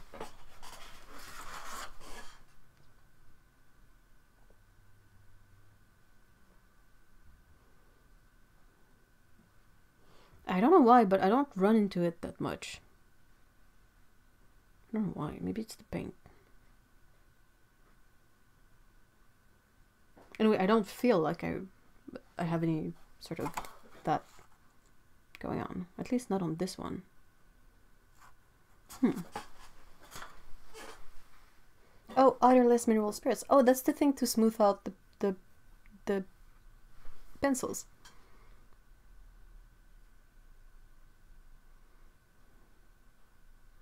Well, if you guys don't like arches, I'll take it off your hands. You can give me all the arches you don't like.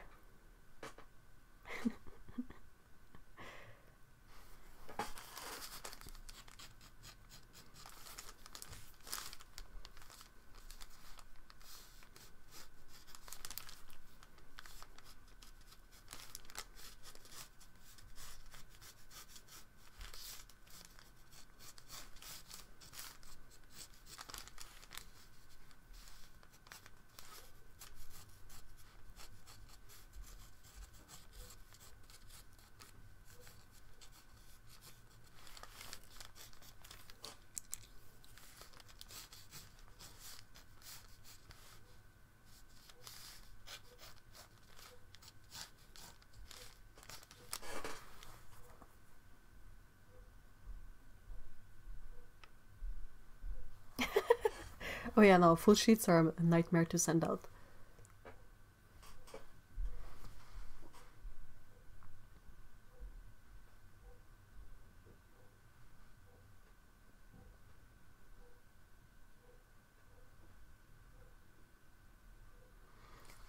I'm glad you found the Saunders Waterford to work fine. Uh, Saunders Waterford is not the paper that I can easily find around here, and when I do, it's like really really expensive. Oh yeah, that's a point. Arches blocks coming your way. I'm not gonna complain. And I will use them.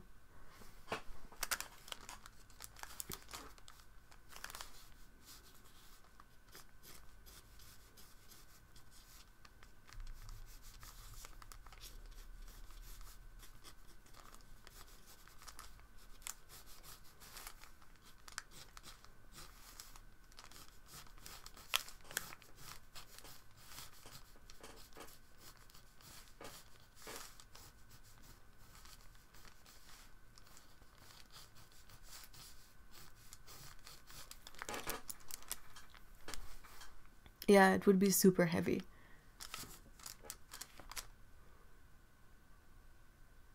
Well, you could probably make it into handmade sketchbooks and sell those.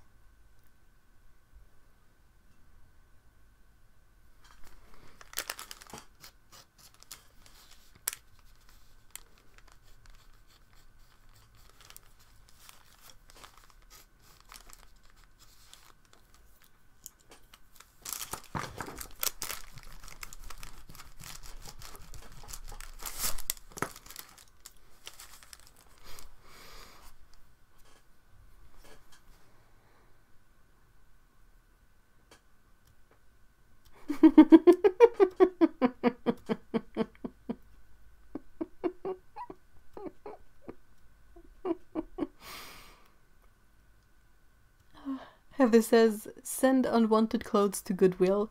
Send unwanted arches to Ev. So Ev is starting an arches watercolor paper rescue center. Got it. Sorry. oh.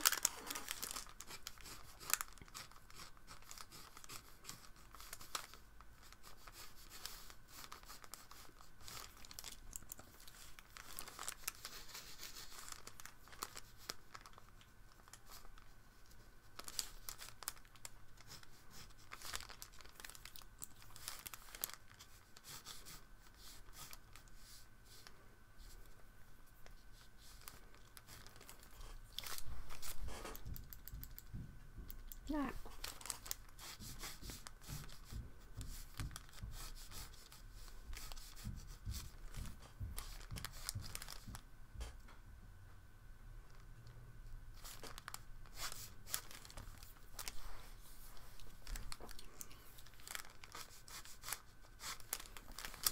We've run out of lead.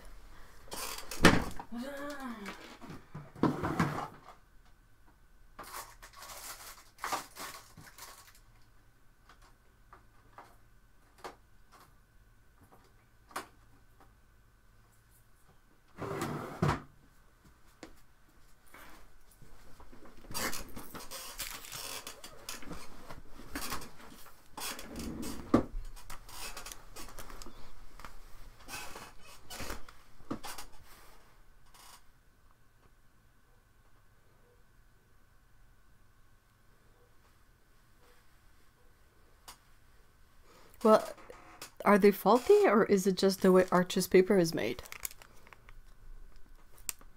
Because if that's just the way Arches is made, well...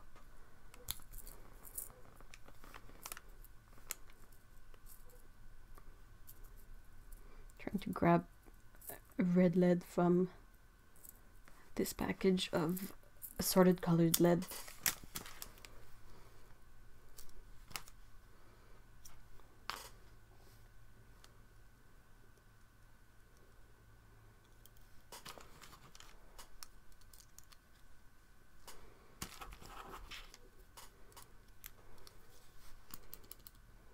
Yeah, that's better.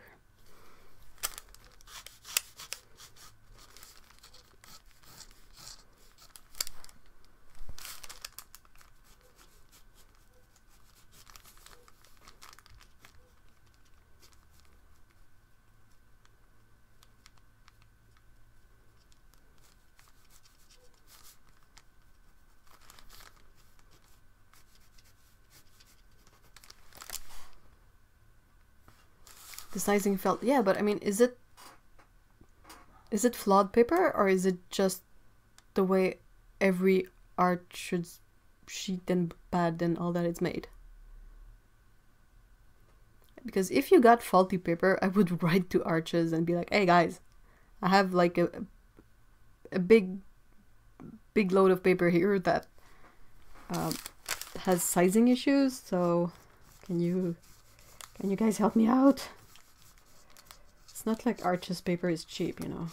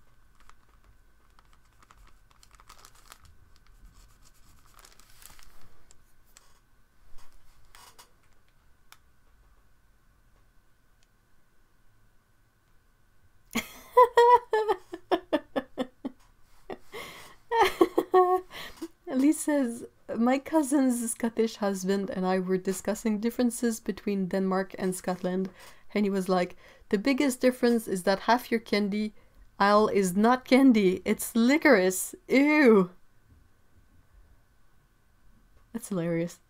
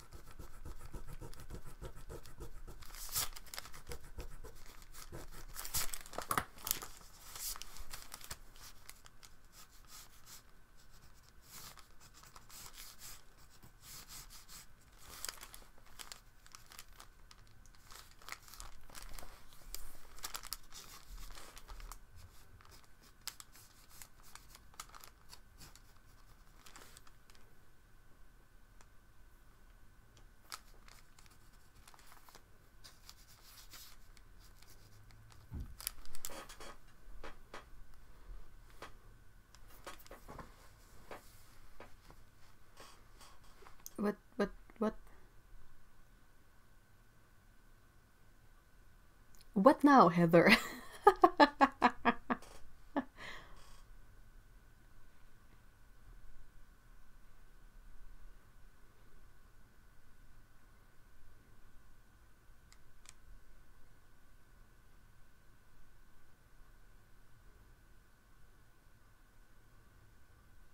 the only black licorice stuff that I've seen is either you know the the the soft weird candy like the the pipe with the little sprinkles at the opening and the other one I've seen is the the black licorice jelly bean jelly bellies and blah. you only get burned once if you don't like the black licorice jelly beans Because every time you see a jelly bean that is super dark, now you squish it open. And if it smells of licorice, you toss it in the garbage bin. If it smells of chocolate, you're like, okay, I can eat this one.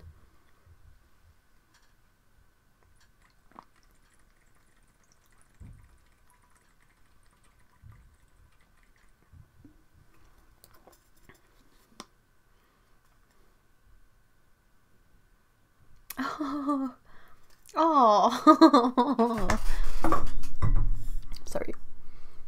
Alex says 100% unrelated anecdotal information. If you're making static electricity petting kitty, touch their skin, read hold their paw, and you'll stay grounded. Maximum pets, no shocks. Just saying.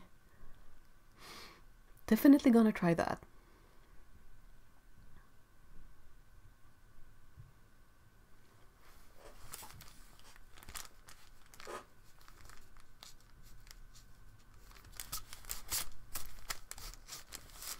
Okay, this is just a test, so I'm gonna keep this really simple. Because otherwise I'm gonna start fussing about it and trying to make it work, and it's just gonna be not productive.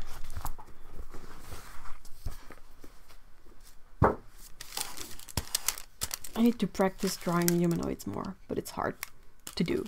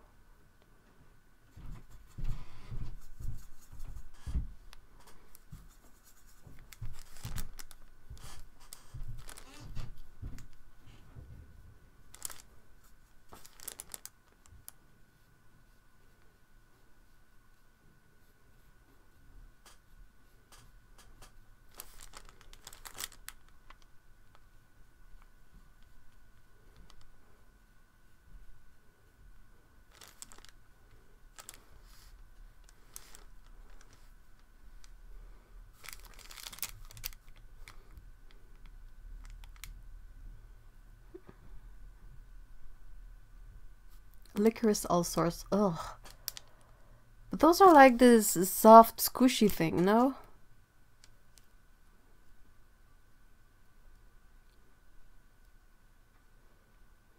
Yeah, it's really it's really uh, funny to um to pet a staticky cat in the dark because you see all the little shocks. Always makes me laugh, but the cats they don't like it usually. They're like, whoa, hey, whoa, no. Yikes, stop it.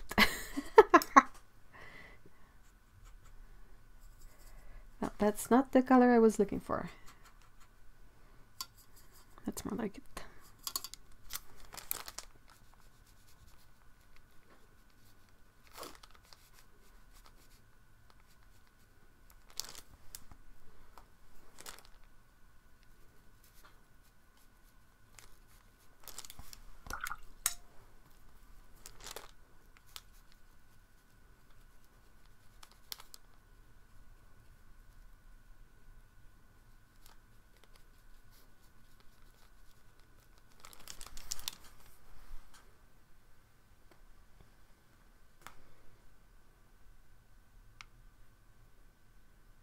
An ice cube tray palette is a really, really good idea.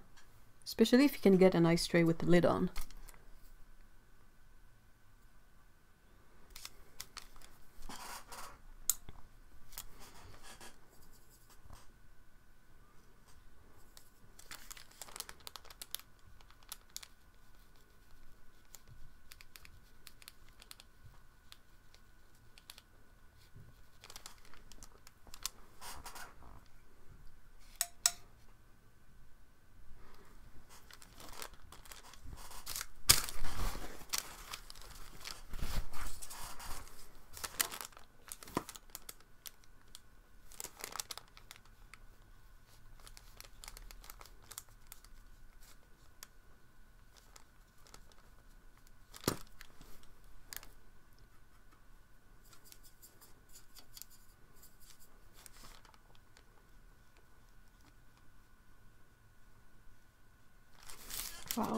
Doesn't move at all.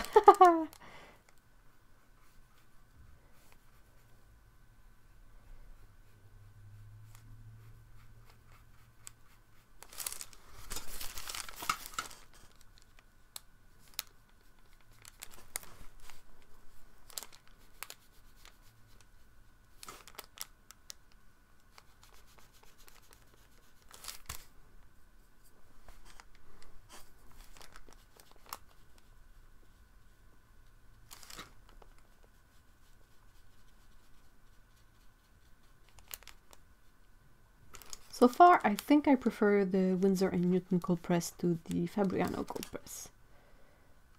It's a bit more what I'm used to.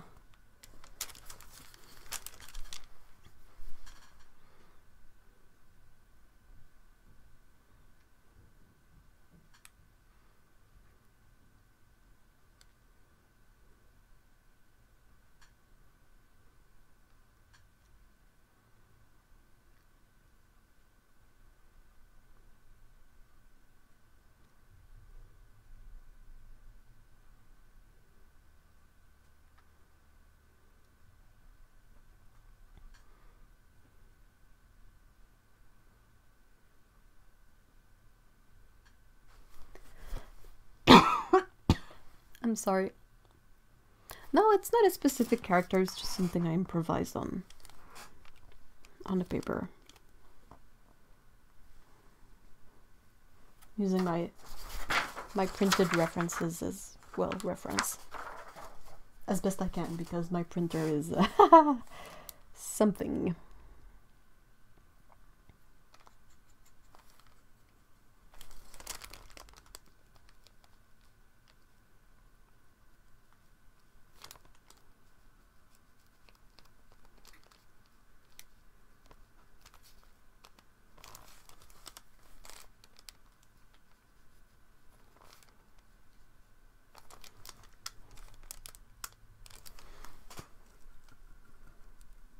We can trade. You can have my arches for your Fabriano deal. oh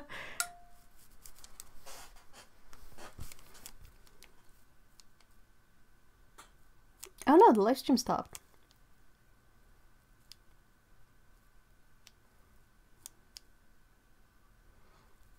Oh, savory pies. My grandpa used to do onion pies.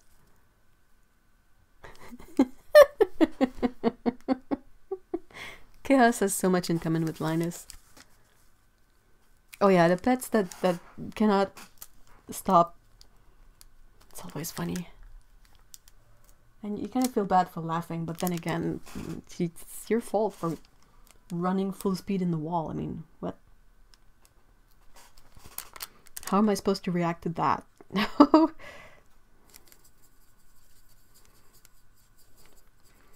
Um, Linus's mom told me a really funny story the other day.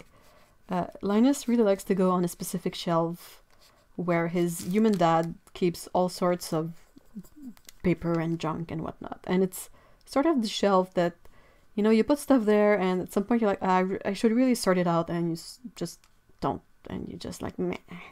Well, the thing is, is Linus goes there and he likes to throw everything on the ground like he will go on the shelf and just push things on the floor.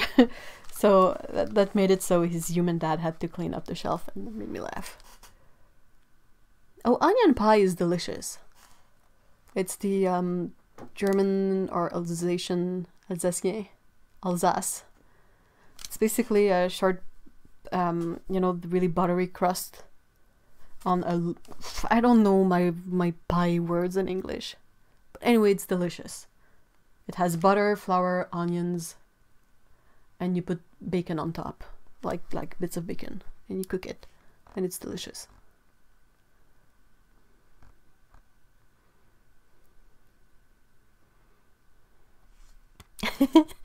Coming from a person who once walked into three light poles in a row, I'm so sorry for you, Lise.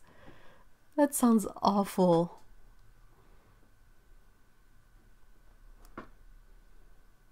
Yeah, if you're allergic to onions, of course you don't eat the stuff that has onion in it, but it's not as dreadful as it might sound to picture an, a pie made with onions. It's a balanced approach to to that. like an eggless quiche, yeah, somewhat. Yeah, eggless, cheeseless quiche. Oh no, the texture is nice because the onions are all like caramelized and soft.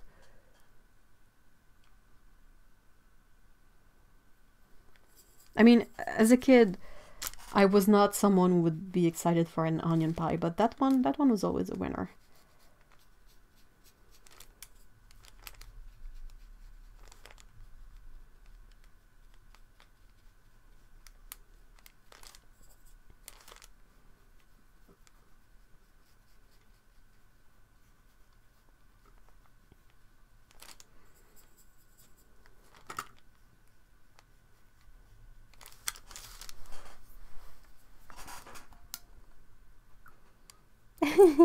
Oh, no, that's fine. I mean, I wouldn't put that on account of not being smart. I would put it on account of being distracted or not having your glasses on. Onion bread is delicious too. This is a local bakery that has, um, it makes uh, sun-dried tomato and caramelized onion bread. And it's good. He discovered the red dot bug. he also discovered the slickest floor in the room. Just so happens to be at the end of a long straightaway. Oh no, Heather! Is there a, a chaos imprint on the door? Oh, raw pickled red onions. I've, I've kind of seen that around. Is it good? Oh, onion pie sounds delish. Thank you, Nancy. Yes. Uh, where do you get the Winsor Newton CPF? Uh, ordered from Jackson's. Sorry, I'm sort of seeing a bunch of messages that I hadn't seen before. I shall live vicariously through on that one. oh yeah, time flies. I am this. Yeah. The the similarly in the same vein of stuff, the it happened once in our previous apartment that was basically a really long corridor. And like every room was attached to that corridor but it was a long stretch of corridor. And one night i went to the bathroom so i i came out of the bedroom walked to the end of the corridor and the room at the end of the corridor was the bathroom and it.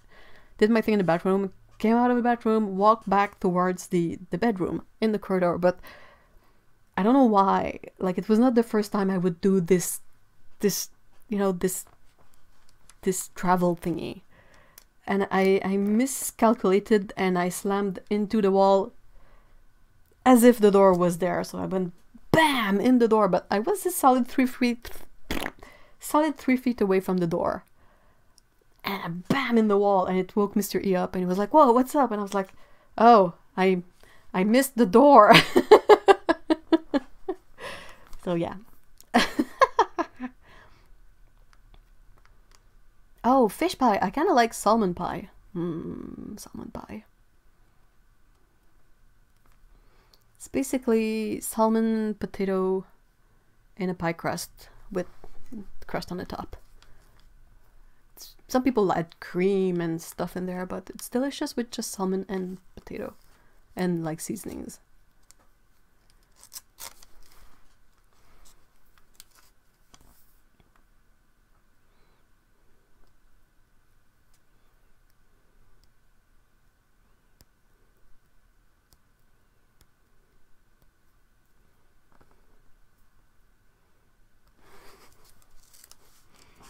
I'm sorry, but I think I would be laughing too if one of my friends was distracted and slammed into the light poles three times in a row. It's kind of funny.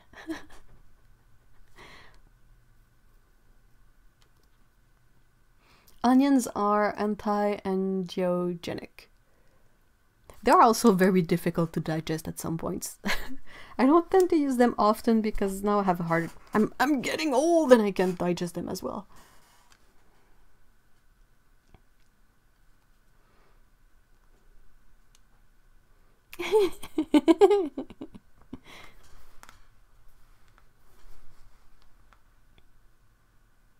oh, geez. Toke says, once I fell down from a tree in kindergarten and now I have a scar on my cheek because my cheek had to be sewn back together. And Lana says, yes, fish pie is fish, potatoes, dill, and onions in Russia, no cream. That sounds delicious. Oh my gosh. Is it any kind of fish? Do you have a specific fish that is sort of the classic fish pie?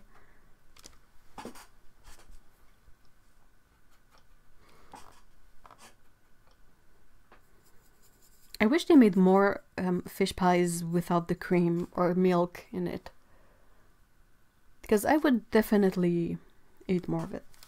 It's just a really handy thing to have in the winter because you can freeze it, fr freeze it, and um, then if you are running late for like dinner or something, you can just put it in the oven and it it has it makes leftovers usually.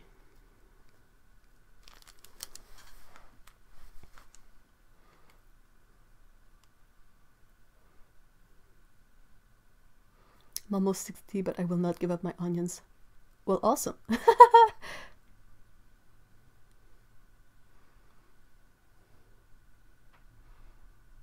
oh, the thing is with onions, though, is that whenever I eat them, then I sort of smell like onions. And it, and it bugs me. Not remember, but I think different kind of fishes were used. Huh. The um, sort of traditional meal of the place where I grew up when I was really really young. It's called the it's called giblotte, and it's basically uh, a stew with white fish in it, and a bunch of veggies and potatoes, and the broth is like tomato based.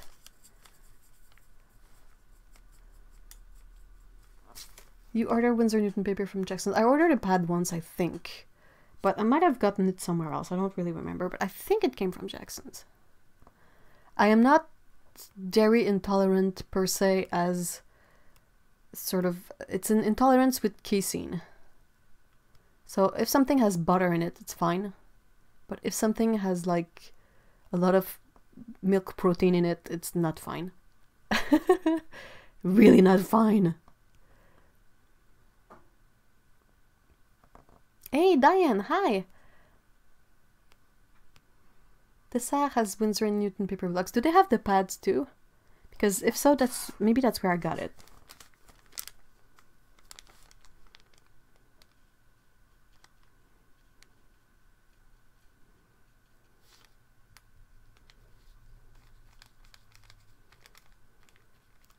But I'm liking it. I don't know if it's more cost effective than uh, arches would be, but it's so far it seems to be a really nice cotton paper. Doesn't seem to do that white dot thingy, but it's hard to say since I haven't really put any dark colors on there.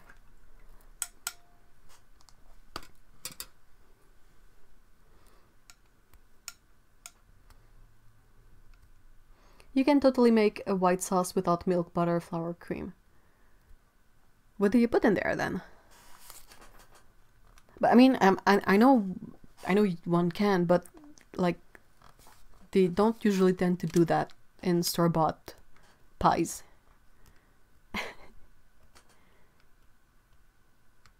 oh yeah, cheeses are a disaster. We were speaking about um, fresh cheese curds yesterday, and yeah, I I cannot I cannot eat it at all. I tried once. I, I ate like a tiny curd and and there was much regret.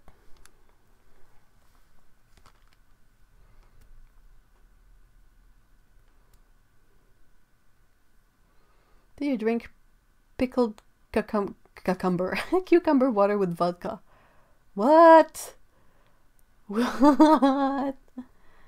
Oh, Lee, um, are you are you casein? Oh, Ooh, you're like the only other people I've, I've met so far that has the same kind of issue. It's just really difficult to try to explain that to people because whenever you say I can't have dairy, they're like, oh, are you lactose intolerant? And you're like, no. because if you're lactose intolerant, you can still have dairy now, especially now. But yeah, and then I'm like, no, it's dairy protein. And you see some people, their eyes glaze over, and you're like, oh, I lost them. But yeah, it's like everything yogurt, cheese, cream, oh milk, all that is out, but butter is fine. But well, butter is fine. I mean, as as long as you still use a regular amount of butter, you know. Like I can eat a croissant. Eat a croissant. you just need fat and any kind of flour. I make mine with olive oil and oat flour. Do you add water to make it more um, liquidy? Because the fat and the flour that makes a roux, but then you have to add some sort of liquid in there. Do you probably use oat milk though?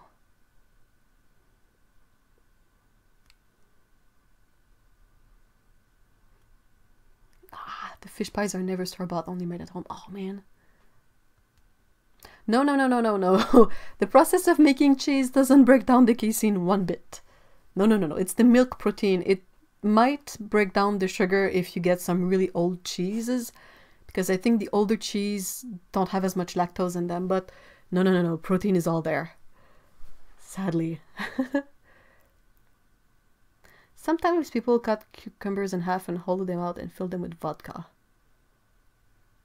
That's terrifying. hey, a nice cucumber! And then you, you're drunk.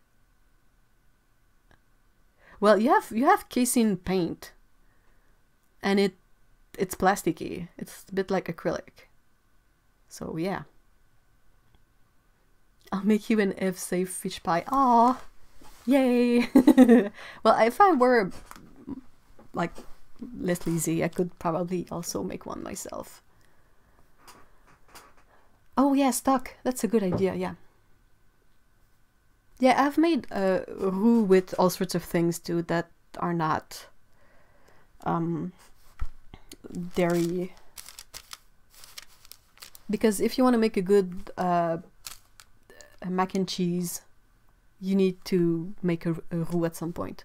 And you can use fake cheese in it. It works. But yeah, I would use olive oil as well and any kind of flour and then you add some liquid to it.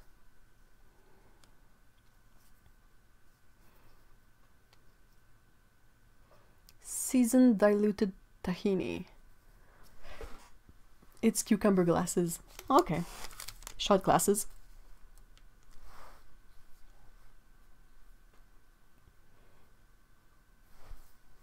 Alright, I was... My goal was to paint the dress. I can do this.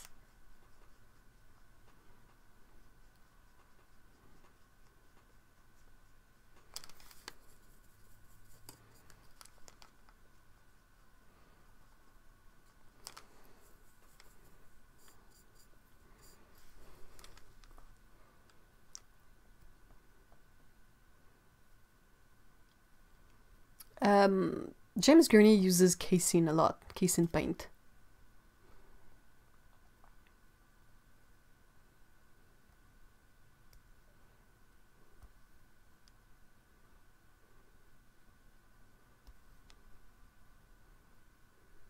Yeah, when I when I was trying to figure out what was my issue with dairy, it was kind of funny because the first thing you try is to remove lactose to see if that's the thing. So there there there are all sorts of um, lactose free you know milk and cheeses and all of that. So i tried that but i was still feeling awful. So like definitely not the thing. And then you ask a bit about it and people are like oh try a goat milk yogurt or goat cheese. And nope that is not exactly helping. And then i just like you know what? I'm, I'm just gonna stop eating it altogether because ugh but then I ate some croissant and I was fine. So I was like, huh, hmm.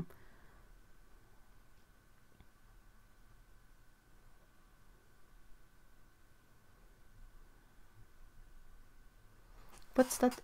Boller, Boller i karry? What is that?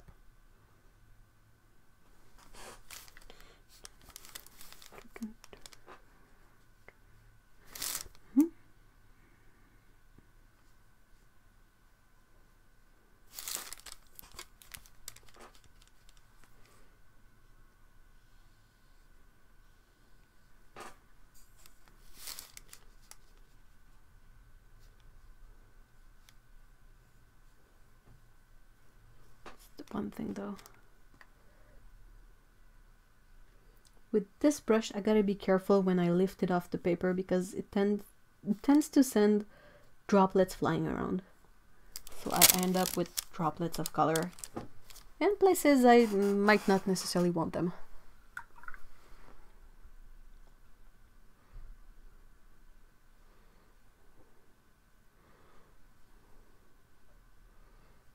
as long as you can eat croissant. Yeah, that that was my that was my that's where my brain my brain went to. I was like, yeah, as long as I can eat croissant, I'm fine. that means I can eat baklava and um, and you know turnovers. So I was like, okay, fair enough. Though, oddly enough, through not eating a lot of it, now I struggle to eat actual butter on things. Like if I buy, once or twice it happened that we bought butter, like actual butter, and I was like, it still tastes kind of cheesy, and I was like, ugh, I've really outgrown that taste. So it's difficult now to just, to just, you know. I I buy margarine, margarine, fake butter. I'm like, ah, it's all good. It translates to balls and curry. It's boiled meatballs in a curry sauce with was. Oh, that sounds awesome. Well, baklava is made with honey, so... I miss cheese. The substitutes are either terrible or expensive. I don't know. I, I've made peace with the substitutes and I will eat either some Daiya or the Nafsikas fake cheese. Because those are quite good, actually. The Nafsikas ones, dude, their fake Parmesan is really legit. I think they made like a deal with some sort of magical entity because their fake cheese is really, really good. And I was like, whoa, what? And you look at the ingredients and it's like really simple. And I'm like, like even Otto could probably eat them. There is no soy, no, no, no, no flour, no rice, no, what else? No tofu in there. So I was like, whoa. Can you use clarified butter? Um, I've used brown butter. I haven't tried um, clarified butter. Are you allergic to cats for real, ever?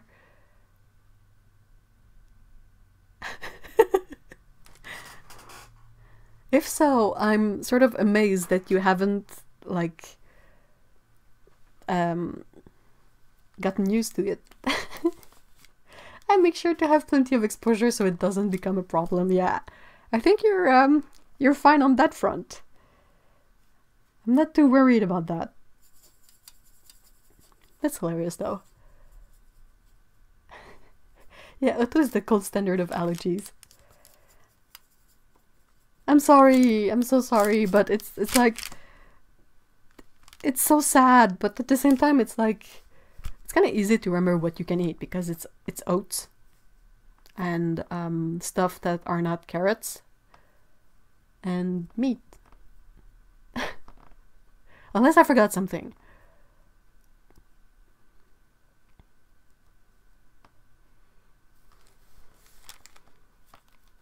Some of the most common foods though like uh, you know all the cereals and and all the soy products that are in everything now it's kind of like ugh I hope we will sort of grow out of this notion at some point because it's really not helping people with sensitivities and allergies.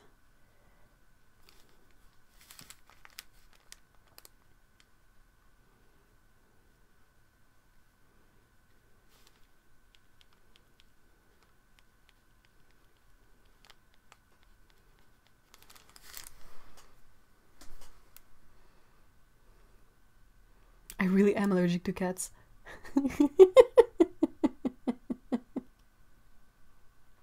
hey, bye Nancy. Thank you so much for being here.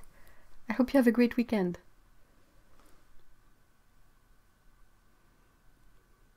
Make balls and curry. The name is hilarious. Tra the tra translated name. Also, I'm not necessarily the most mature person in the world.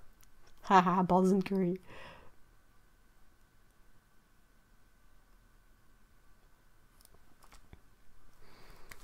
Can you imagine the challenge of putting together a, a buffet that all of us could eat at? It's like a nightmare.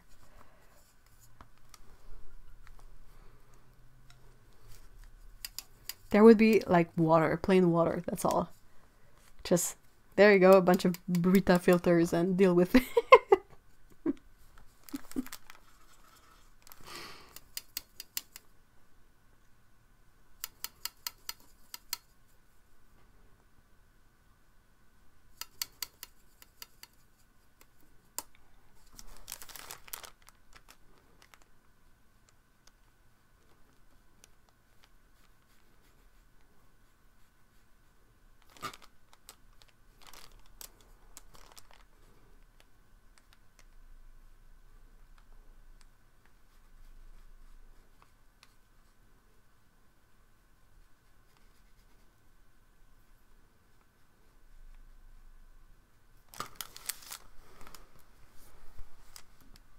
Is anyone allergic to water? That does happen.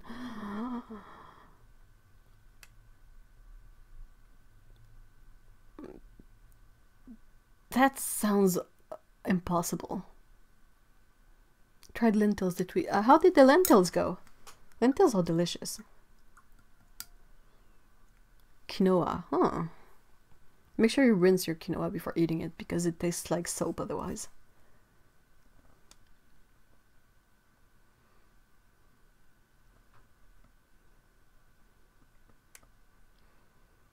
Oh, I feel sorry for you, Patricia. That doesn't sound. Well, I'm pretty sure you can be creative with it, but still. Good news can have black coffee. Well, at least there's that. Allergic to red meat. Not as far as I know, though. Lentils have been great so far. Lentils are so good.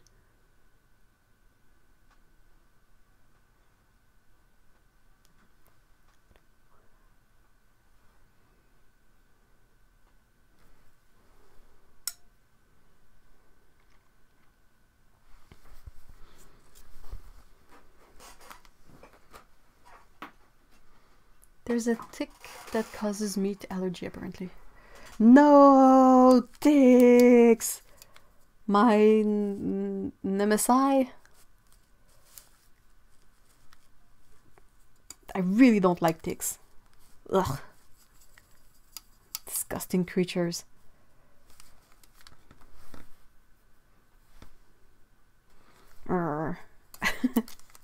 Mm, really hate ticks. Ugh.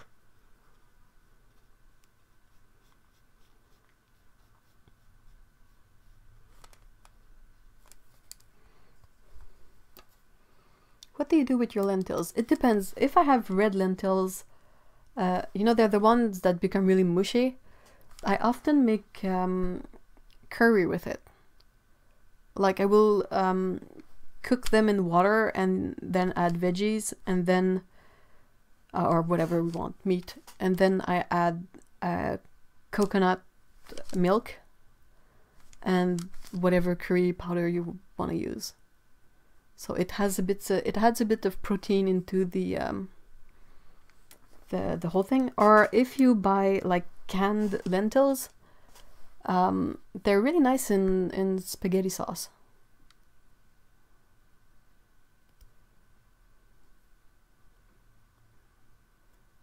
I've also had them just like lentils with grilled veggies and yeah, like a big ball and you mix it up. Lone Star Tick. Well, all the ticks should burn in hell. ah. They've made... They've ruined all the fun of walking in the woods. You, you can have coconut, right? So I was thinking that curry might be something you would enjoy. But they're really nice in curry. We often make curry with uh, like the lentils and then I had potatoes and whatever veggies, other veggies I feel like and the coconut milk and the spices. It's really nice. It's perfect for winter because it's all warm and spicy.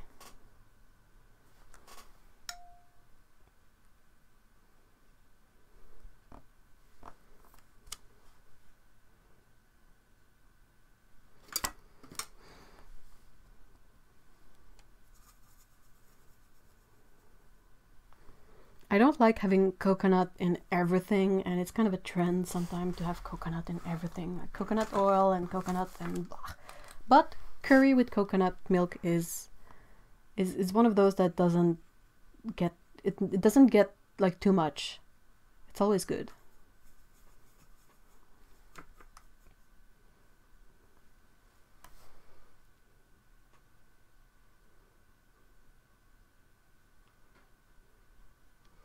Ticks and wasps.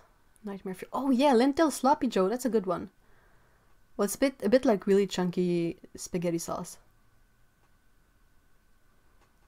Salmonella is awful. I started going into kidney failure. What, Heather? No.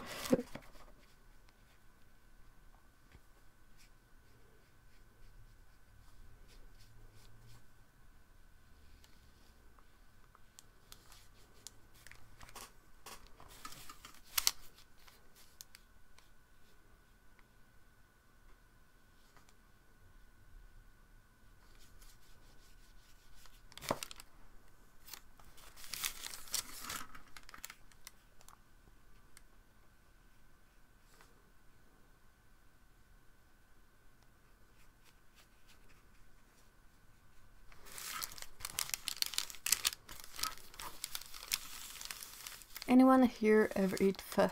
Pho, pho, pho? It's a great soup. Oh yeah, lentil soup. That's delicious too.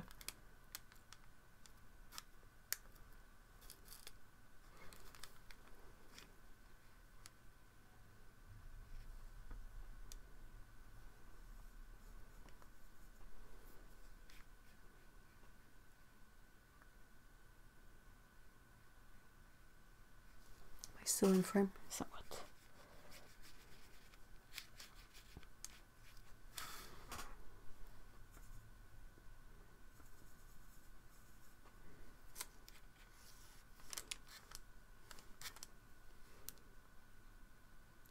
So far, this Winsor Newton- Newton paper feels really, really similar to uh, to Arches.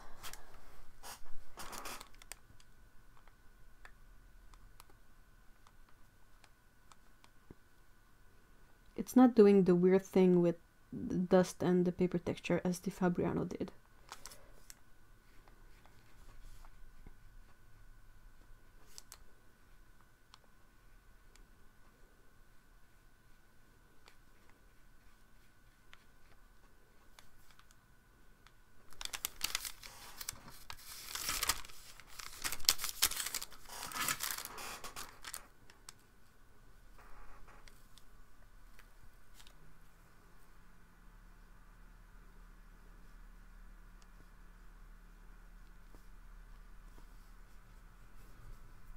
I wonder if the other drawing will be dry enough to test out the color pencil on it. I hope so because the stream has been going on for quite some time and I still haven't got around to that part of it. Right. Switch room.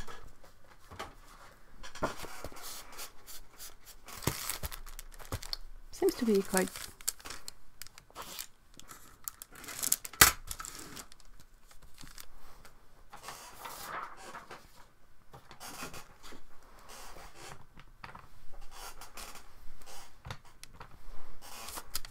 putting the brushes to dry.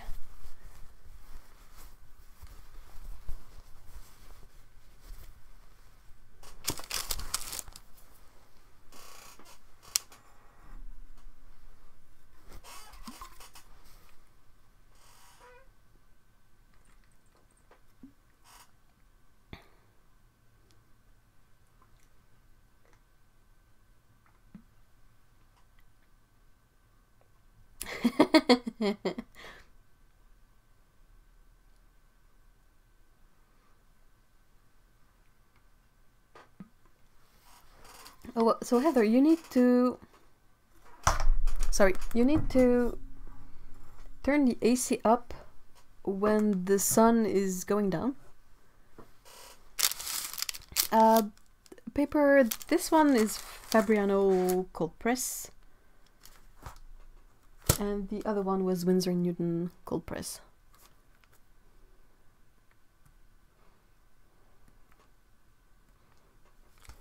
All right.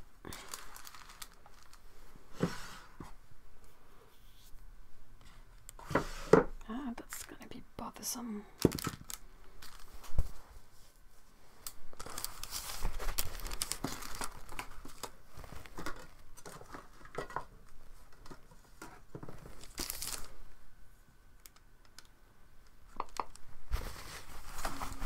Uh, pencils will probably be polychromos because that's kind of what I have. They're they're in a in a thingy on my desk with drawers. Assuming I can put this back in. Yeah, there you go.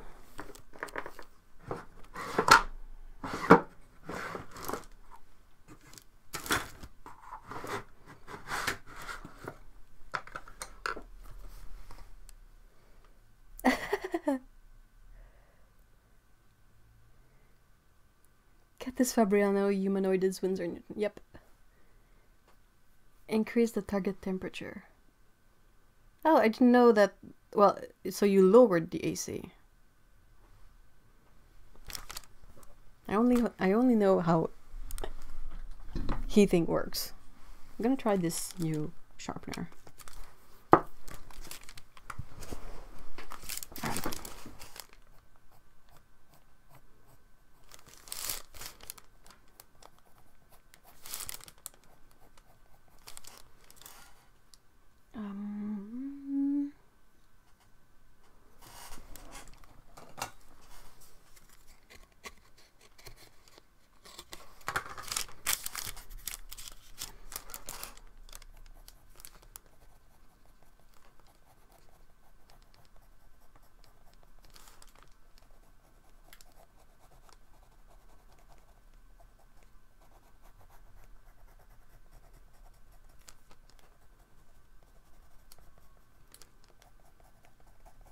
Love the smell of color pencils.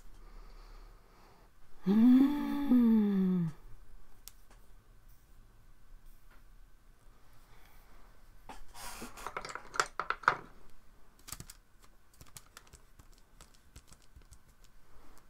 I don't have my cat reference with me. I forgot to check which page it was. Oh, this one.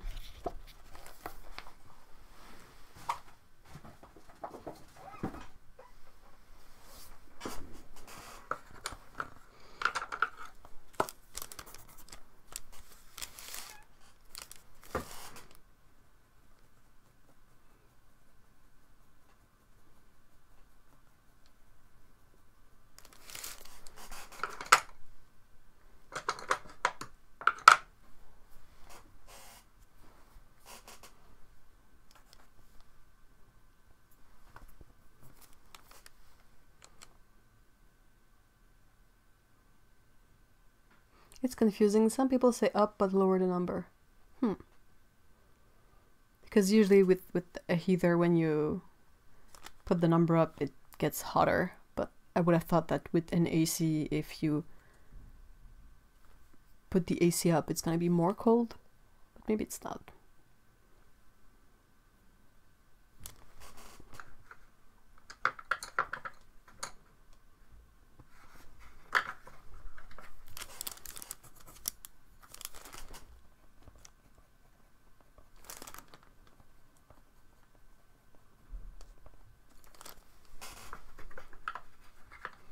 It's still pretty textured as a paper.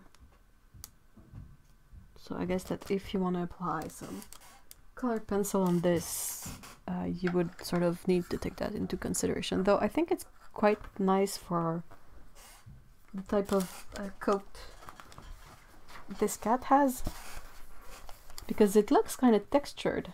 It you know it's like mottled a bit. Such a nice kitty.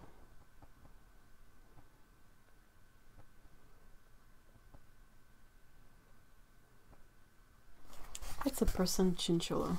That doesn't sound like something I will enjoy. Oh, poor thing. Okay.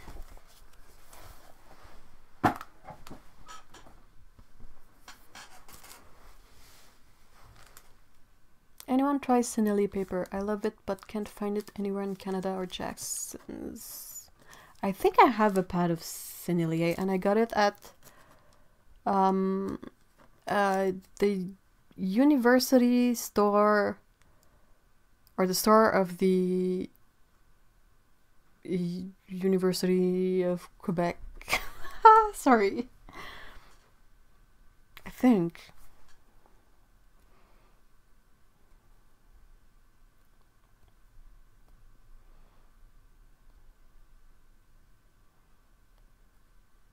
I haven't tried it yet though. It's in my list of um, papers to try with um, colored pencils too.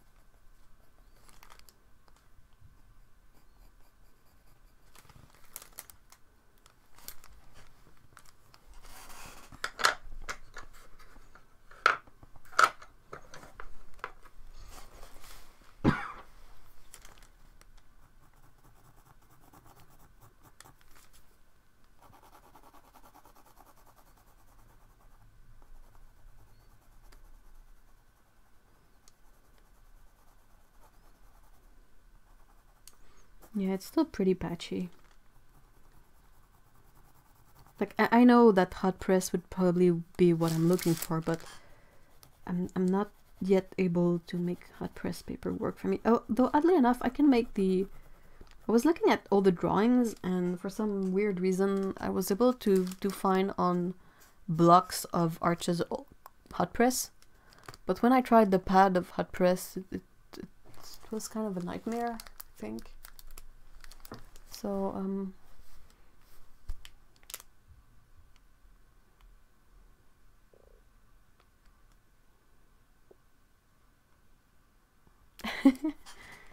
I'm sorry, I, I don't move enough.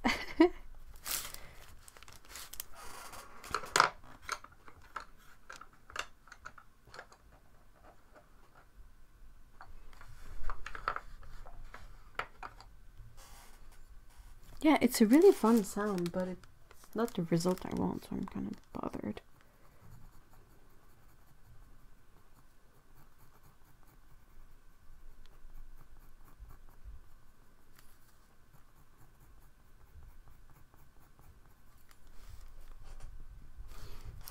That's why I'm experimenting with it today.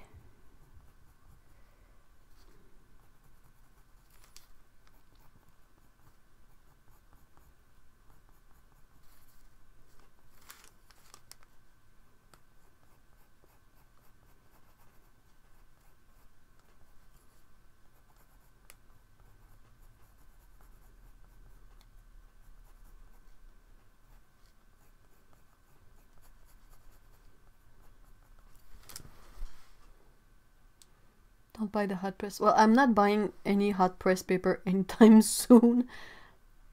Uh, it's been too much of um, a, a series of, of failed. Anyway, I still have some of the Arches hot press pads uh, blocks I have, and they are quite old. They were gifts, so maybe they date back to a time when the paper was better because when I tried the pad it was it was not a great experience. But yeah I was looking at the paintings I did the few paintings I did on the blocks and I was like huh hold on a second that's that's hot press. And it's not like abysmal. What's up with that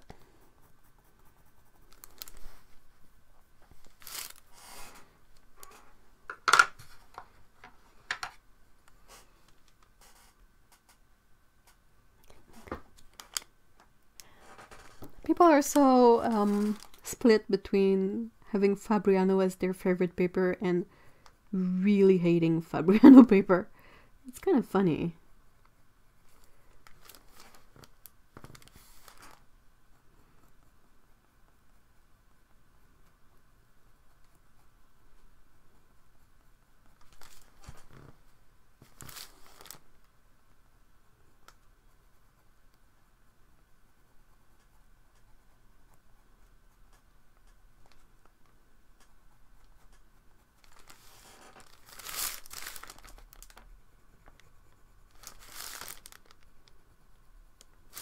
So far the details in black have been sort of the most successful in terms of what I wanted to achieve. So I don't know if it's because I'm I'm using a point and not adding in like flat colors but like tracing elements instead of trying to make a gradient if that makes sense.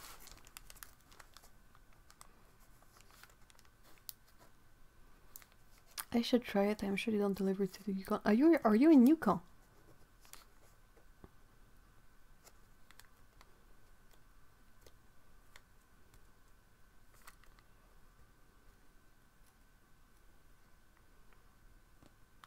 Oh no, Lee.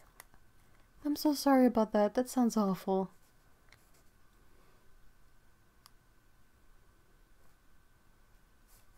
I think I think laying down sounds like a good idea.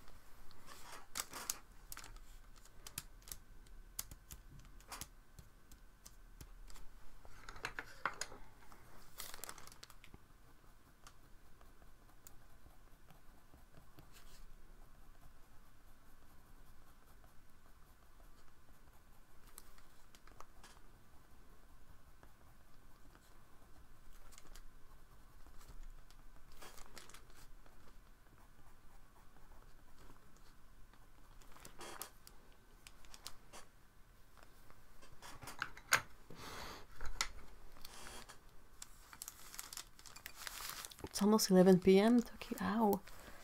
That's late.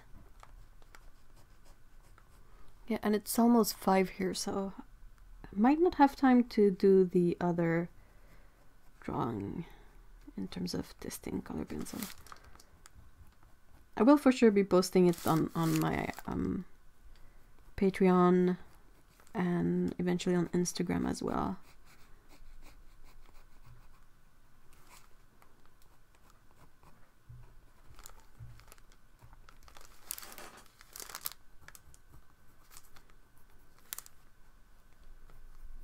Not even have time to finish this one.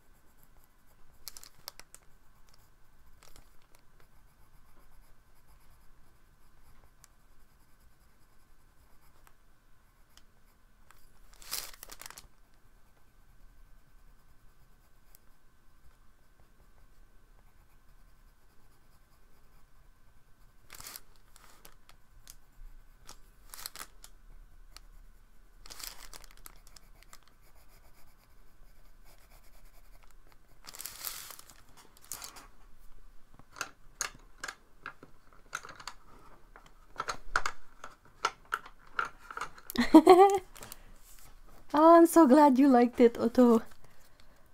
I was I was really considering your your um your your um how can I say that your your person. but yeah, I was looking at them and I was like, I didn't I don't choose them, but in the pile I had like I had the pile of envelopes and I had the pile of paintings and I would like take a painting, take an envelope, and there you go. And when I got to Otto, I took the painting, I took the envelope, and I was like, yep.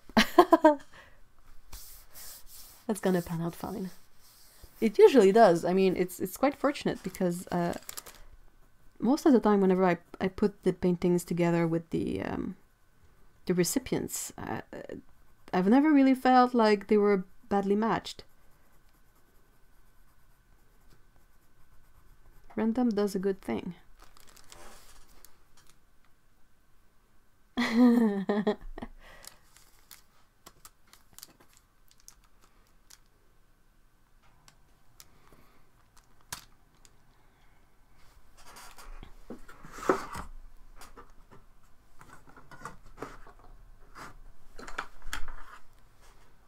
anyway, all that to say that I'm glad you liked it.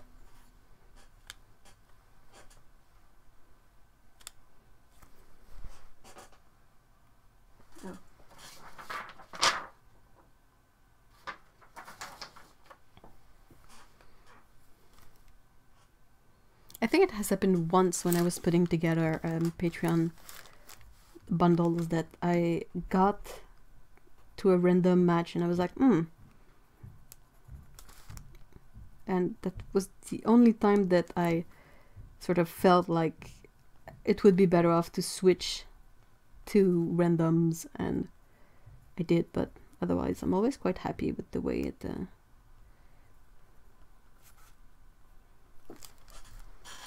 it works out.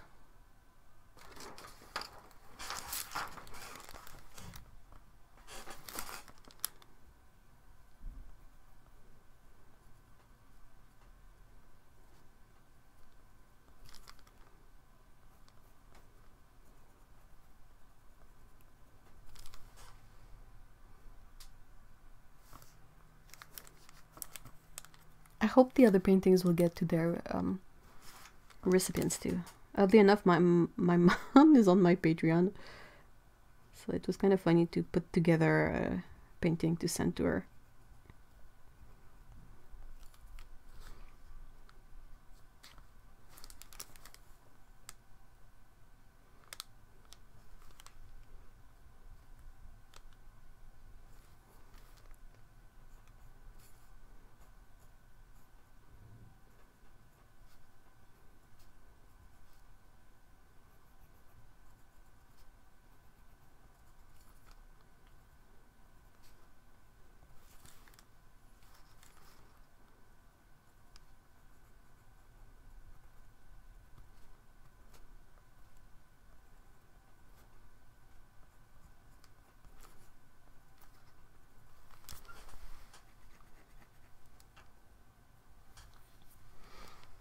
Has a fairly decent collection of things I've painted.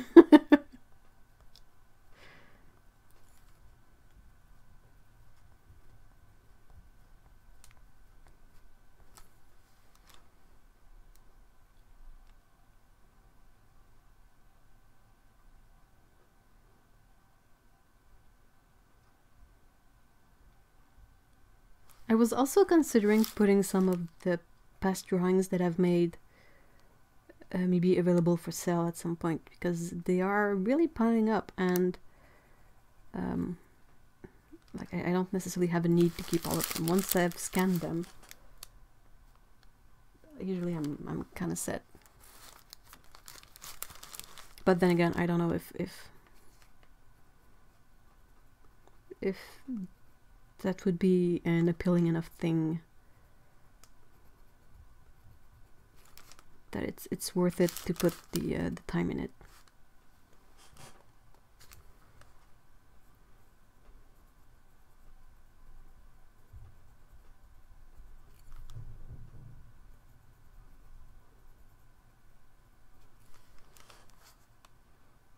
I can see Otto opening a museum of Ev's art one day. There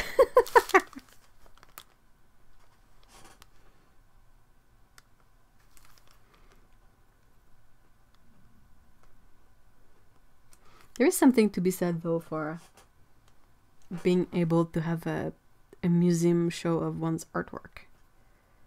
It's something that I find really fascinating because I've worked. I want to be the biggest collector. Ah, but yeah, in uh, the old Montreal, there's a lot of galleries, and uh, it happened a few times that I worked, like my workplace was in that area. So whenever I would walk towards the subway station I would have to walk along all the galleries and like like sort of see what they are. And I mean it's gotta be really exciting to have a, a solo show or something. But then again I don't know if if it works if you don't have any connections in this world. Like what are your chances of being able to land the solo show on, uh, until you're like super famous and old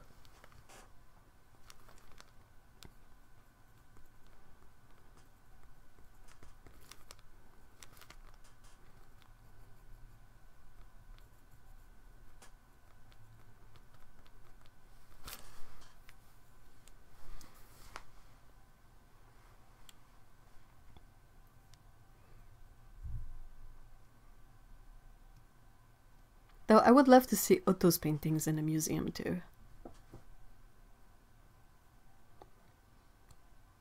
They are amazingly prettier and better than what I would see in the galleries walking to and from work.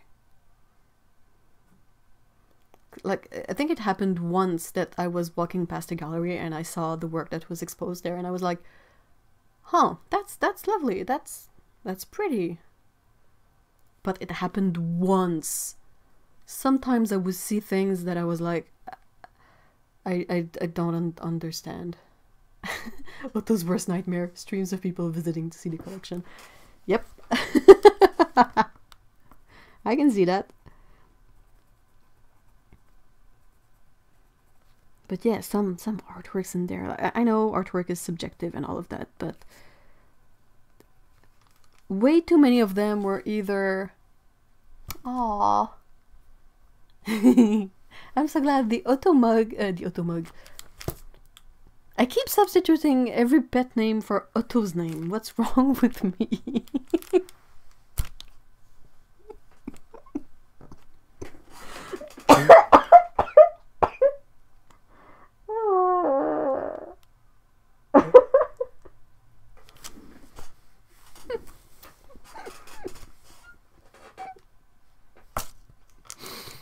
I'm sorry. I'm broke. Duct tape bananas to wall, yeah. Yeah. Some of the, the stuff I've seen was like really okay, one one time it was you know like the um the edgy street art take on like I will paint Disney Disney stuff like Mickey Mouse, but it will be a melty Mickey Mouse, and you're like, yeah, okay. And the other time it was um, it was like some cartoony artwork, but really, really clumsily made, and like it didn't depict anything that I thought was um, interesting. I guess is what I'm trying to say. I keep breaking myself. In Denmark, there's a famous artist, and what he's known for is that it looks like a kid drew it, and apparently people like that. Uh, yeah, that, that there's quite a few like that. And I mean, fine, fine, it's subjective, but then again, like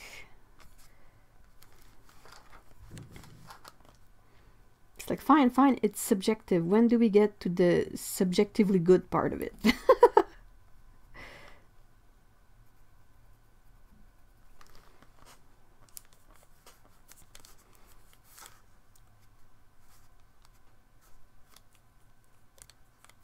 Oh no, I think I broke Otto. Popular art apparently can't be good. Yeah, well, there's this weird thing that happens in, in art schools too. Like if you try to do figurative art in certain fine fine art classes, you get you get scolded by your um scolded. Anyway, your teacher is not happy with you. And they try to really force you to express yourself in certain ways. But isn't the whole point of self-expression to be personal. Like if my form of self-expression is drawing anime stuff, I should be allowed to to have that be considered my form of expression, you know. But no, if you try to draw something that is too figurative, they're like, uh.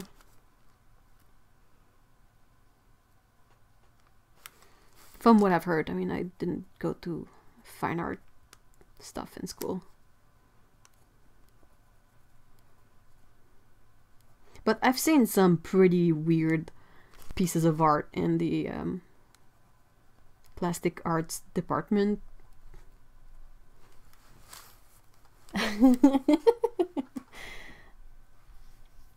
it's a kaboo. Good night. Have fun with the puppies. What did I miss? Um, I did the thing again where I replaced a pet's name with your name. And I mentioned the Otto mug. Uh,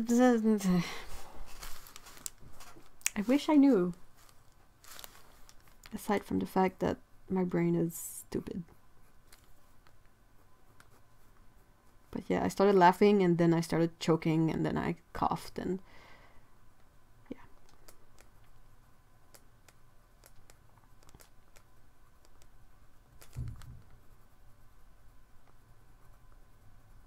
Also, I was ranting about about galleries and stupid art. The booby camel postcard. Yeah, that that's. But I mean, I would still prefer that one to um, the the the the cartoony stuff I saw once. I've already admitted my undying love to you, Otto.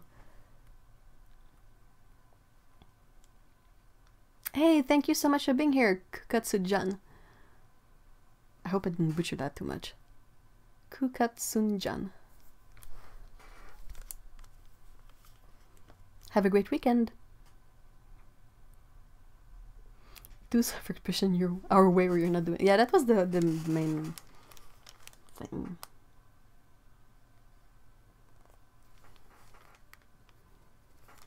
Not entirely sure what's the goal of controlling how people self-express, but I mean, fine, fine. Going back to that that gnarly cartoony art that I didn't like. It it reminded me of something. You know, when you have a uh, I can't find a good a good example of it, but it was just so not my cup of tea, and I was like, This is in a gallery in in downtown Montreal where there's a lot of really rich people that goes to visit, especially during the uh, when there's the um, racing car event, the Formula One in Montreal.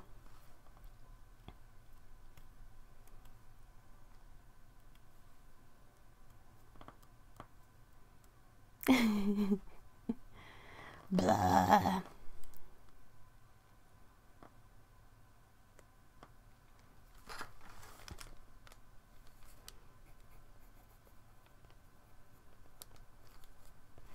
Yeah, this paper is, in the end, I think it's not so bad for details if you don't try to make too large areas. Like, I don't like how it looks on the paws.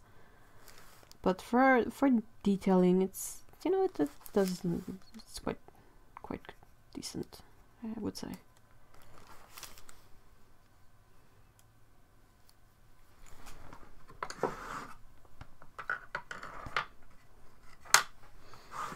That's kind of why I think it's weird that you can study art in a way. Like, if you study um, uh, art history, that's something else. That's different. That's fine. I mean, art history is super interesting.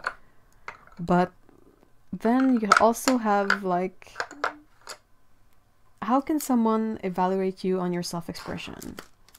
So, if you have classes that are more like, this is how one uses acrylic, that's fine in fact, I wish there were more like that.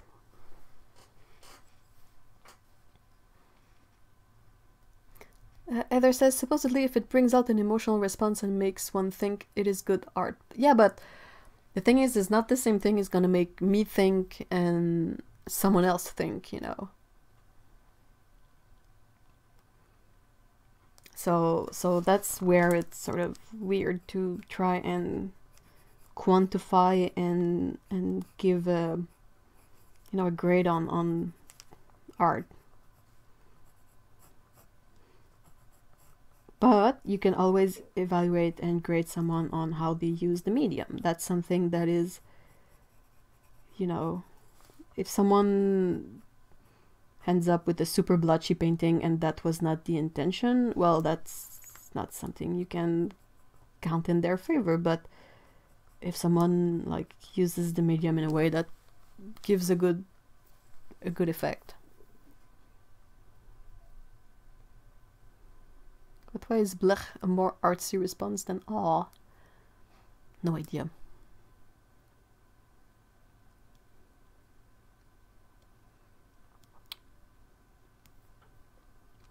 Maybe rich people need to generate some suffering. I think we need to eat all the rich people.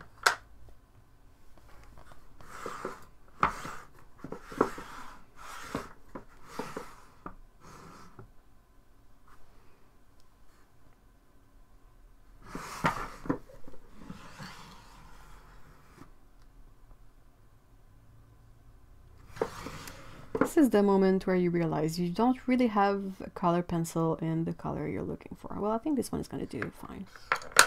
It is the gold pencil, but metallic pencils are never really metallic. And I'm gonna use this pencil sharpener for the first time. Good job. Good point. Doesn't seem to have broken any lead. Scandinavian art is lovely, usually. From what I've seen, it's something that I know I enjoy.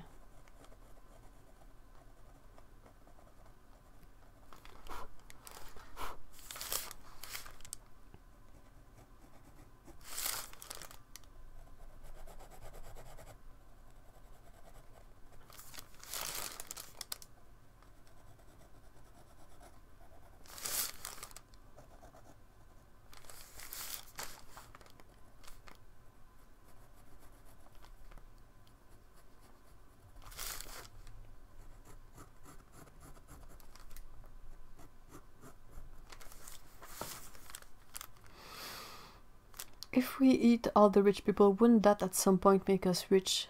Well, no, because you eat them, they're just gone.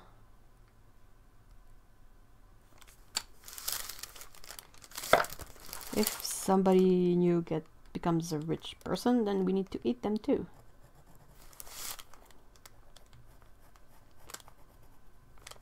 I think I mentioned it last time, but the, the article I saw with the uh, like the rich people saying what was their holiday vacations like, like what are your holiday plans? And it was like in, insane stuff, like oh I'm spending New Year's in a lodge uh, in the Alps, and then uh, for Christmas we are going to a retreat in the Caribbean, uh, blah blah blah. And you're like what? what? I'm sorry, what? And you can say that with a straight face on. Okay. Fine.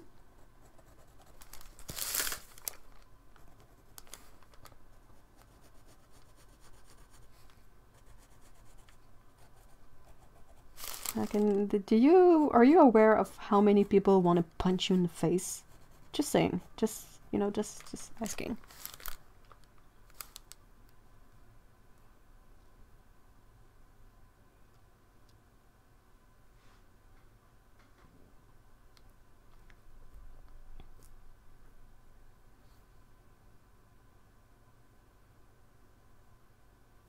Yeah, but if you eat them, then at some point one of us will be the richest person in the world. No, because eating them doesn't mean you acquire their richness. It just means that they're gone. They cannot be problematic anymore. And I guess the goal would be to redistrib redistribute the richness in a way that is not so uneven.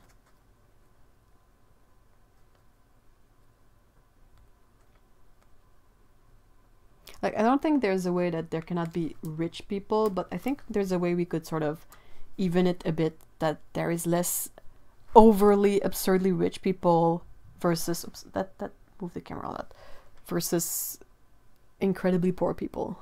Like it's too far up, too far down. We need to could could we bring them in a tiny bit?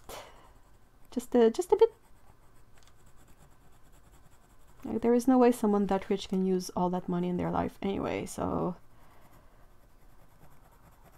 why not?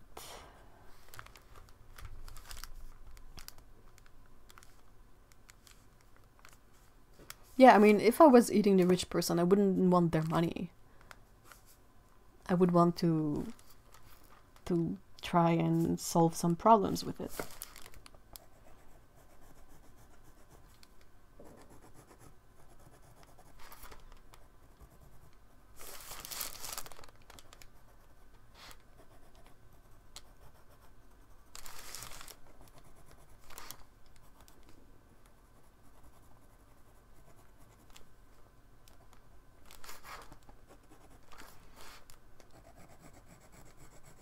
I thought police is gonna shut my door. but then there, here's the question, when are you rich? Well, you can be rich, you cannot be stupid rich. like people with the, the, the people who are have a value of like billions of dollars or whatnot. I mean, what's the point? How much can you use in one lifetime? Why have so much extra? What's what's the it's the whole freaking concept. No, you can redistribute redistribute the money without owning it.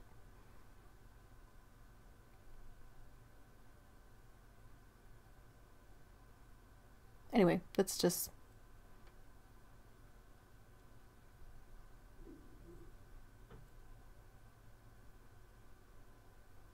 It's just really surreal to see how some situations are uh, set up because you're like there is a solution. I mean or there is not necessarily a full solution but there is ways that this could be helped.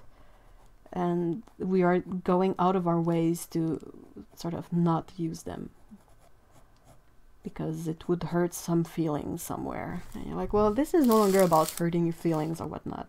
I mean Anyway, that's just my two cents. And I'm an, I'm an artist, I'm not a politician, so what do I know?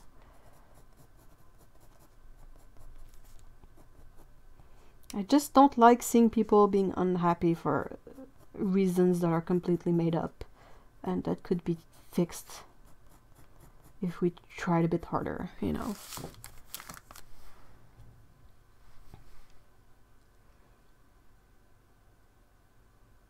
Think wealth is all about the distance between the social classes. I agree. I would agree with that.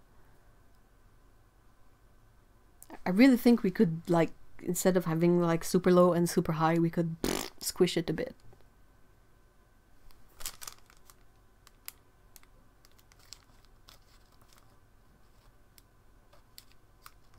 It is complex, but sometimes I wonder if it has to be complex or if we made it this complex just because it gives a reason to not fix anything.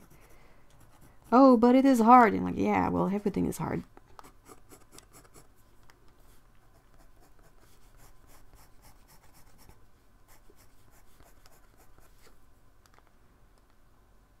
Anyway, I'm, I'm just ranting, I guess. I'm old. I can rant.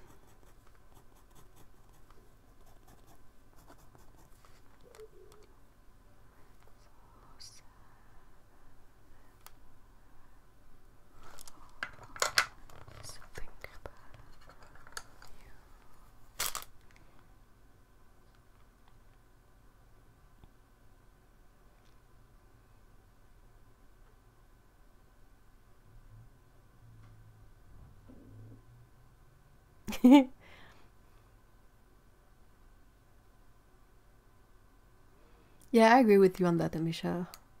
There's with the caveat that I didn't look into the issue very deep, but it's it's kind of surreal to see that they are making rich people pay less taxes because you're like, mm, wait, why?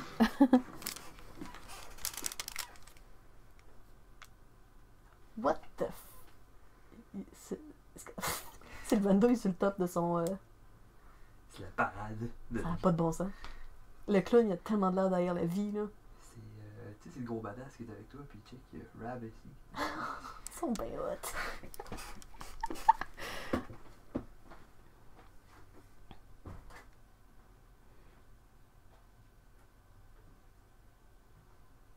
yeah, that's a that's a weird that's one of those weird situations where you're like, how can people work full time and not be able to pay their bills?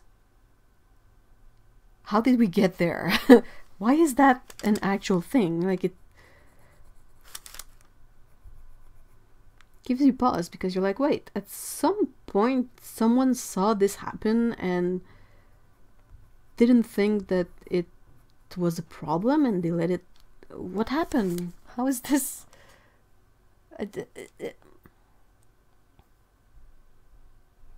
Three hours exactly. Oh, yeah. Well, I'm. I think I'm sort of kind of done with the experiment on this one anyway. And the other one, well, that will have to be some other time because I'm a bit exhausted. I propose we don't eat people. Well, I don't think the rich would taste really good, but I will. I will do it if it if it brings in results. Um yeah, you know, it's it's more of a metaphor than a actual need to eat people. Just in case someone somewhere has not figured that out yet.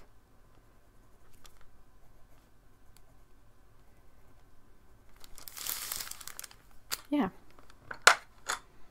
So it's I guess where I stand about this right now is that kind of works well if you want to add in sharper details like outlines or like the, the makeup on the cat's face. Makeup. I call it makeup, but you know what I mean. Um, aside from that though, oh yeah, look, it has decided to uh, detach on its own. Alright, Fabriano. Alright. Yeah, that's done. That's the weird thing. It's not the first time I get a block that has crud between the sheets. And like, how did that get there? Because that was properly sealed and it had a sheet over it. So what, what happened? The Winsor Newton paper looks like this now. It's really not, not that bad. I don't think it's fully dry yet. It's close to it though.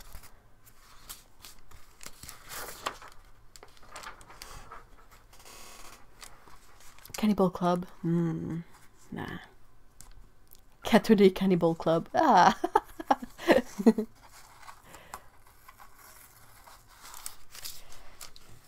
Oh, and well, this the Fabriano cold press doesn't really mind the masking tape so far, which is nice. I haven't seen many papers in cold press that really don't do well with masking paper, but you know, there might be. as long as it's not a tick on the shit. Yeah, no thank you. Alright, so um, partial experiment, somewhat partially conclusive. I will I will um, share and scan and hmm. it's hard to say, but I think I will high res. I need to write what these are though. That's Fabriano Artistico cold press. I wrote that cold press CP. Okay. I think I will high res scan those and post them on Patreon at least. So that maybe seeing up close how the paper, how the pencil reacted on the paper, that might be more indicative. I, I couldn't say exactly. I find it hard to decide whether it's more like one or the other, mostly because I haven't accumulated a lot of knowledge. I need to do more experiment on, on this, but since I have color pencils that I really would like to use more, since I have them, um, I'm definitely gonna gonna work more on that.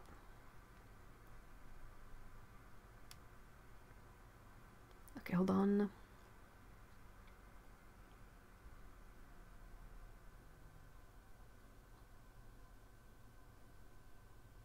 people need to have the choice. If they want to have a lot of money and buy stuff and live fancy or if they don't.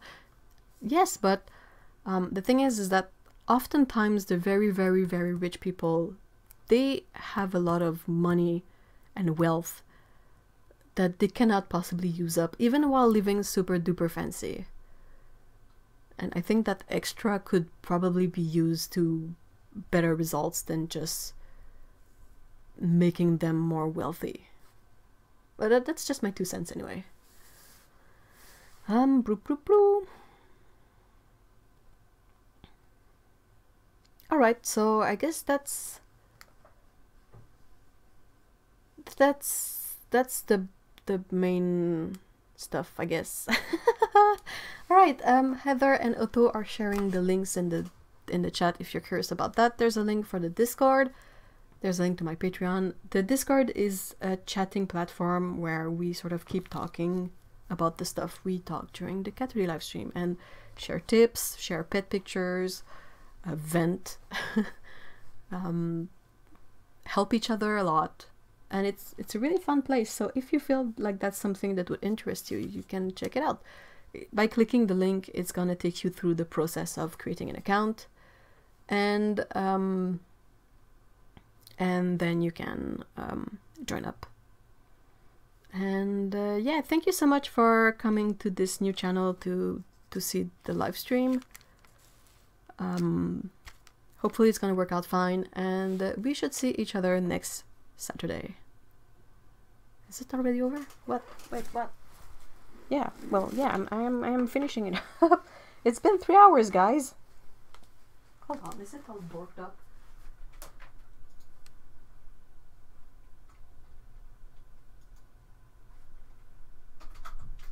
Is it all broken again?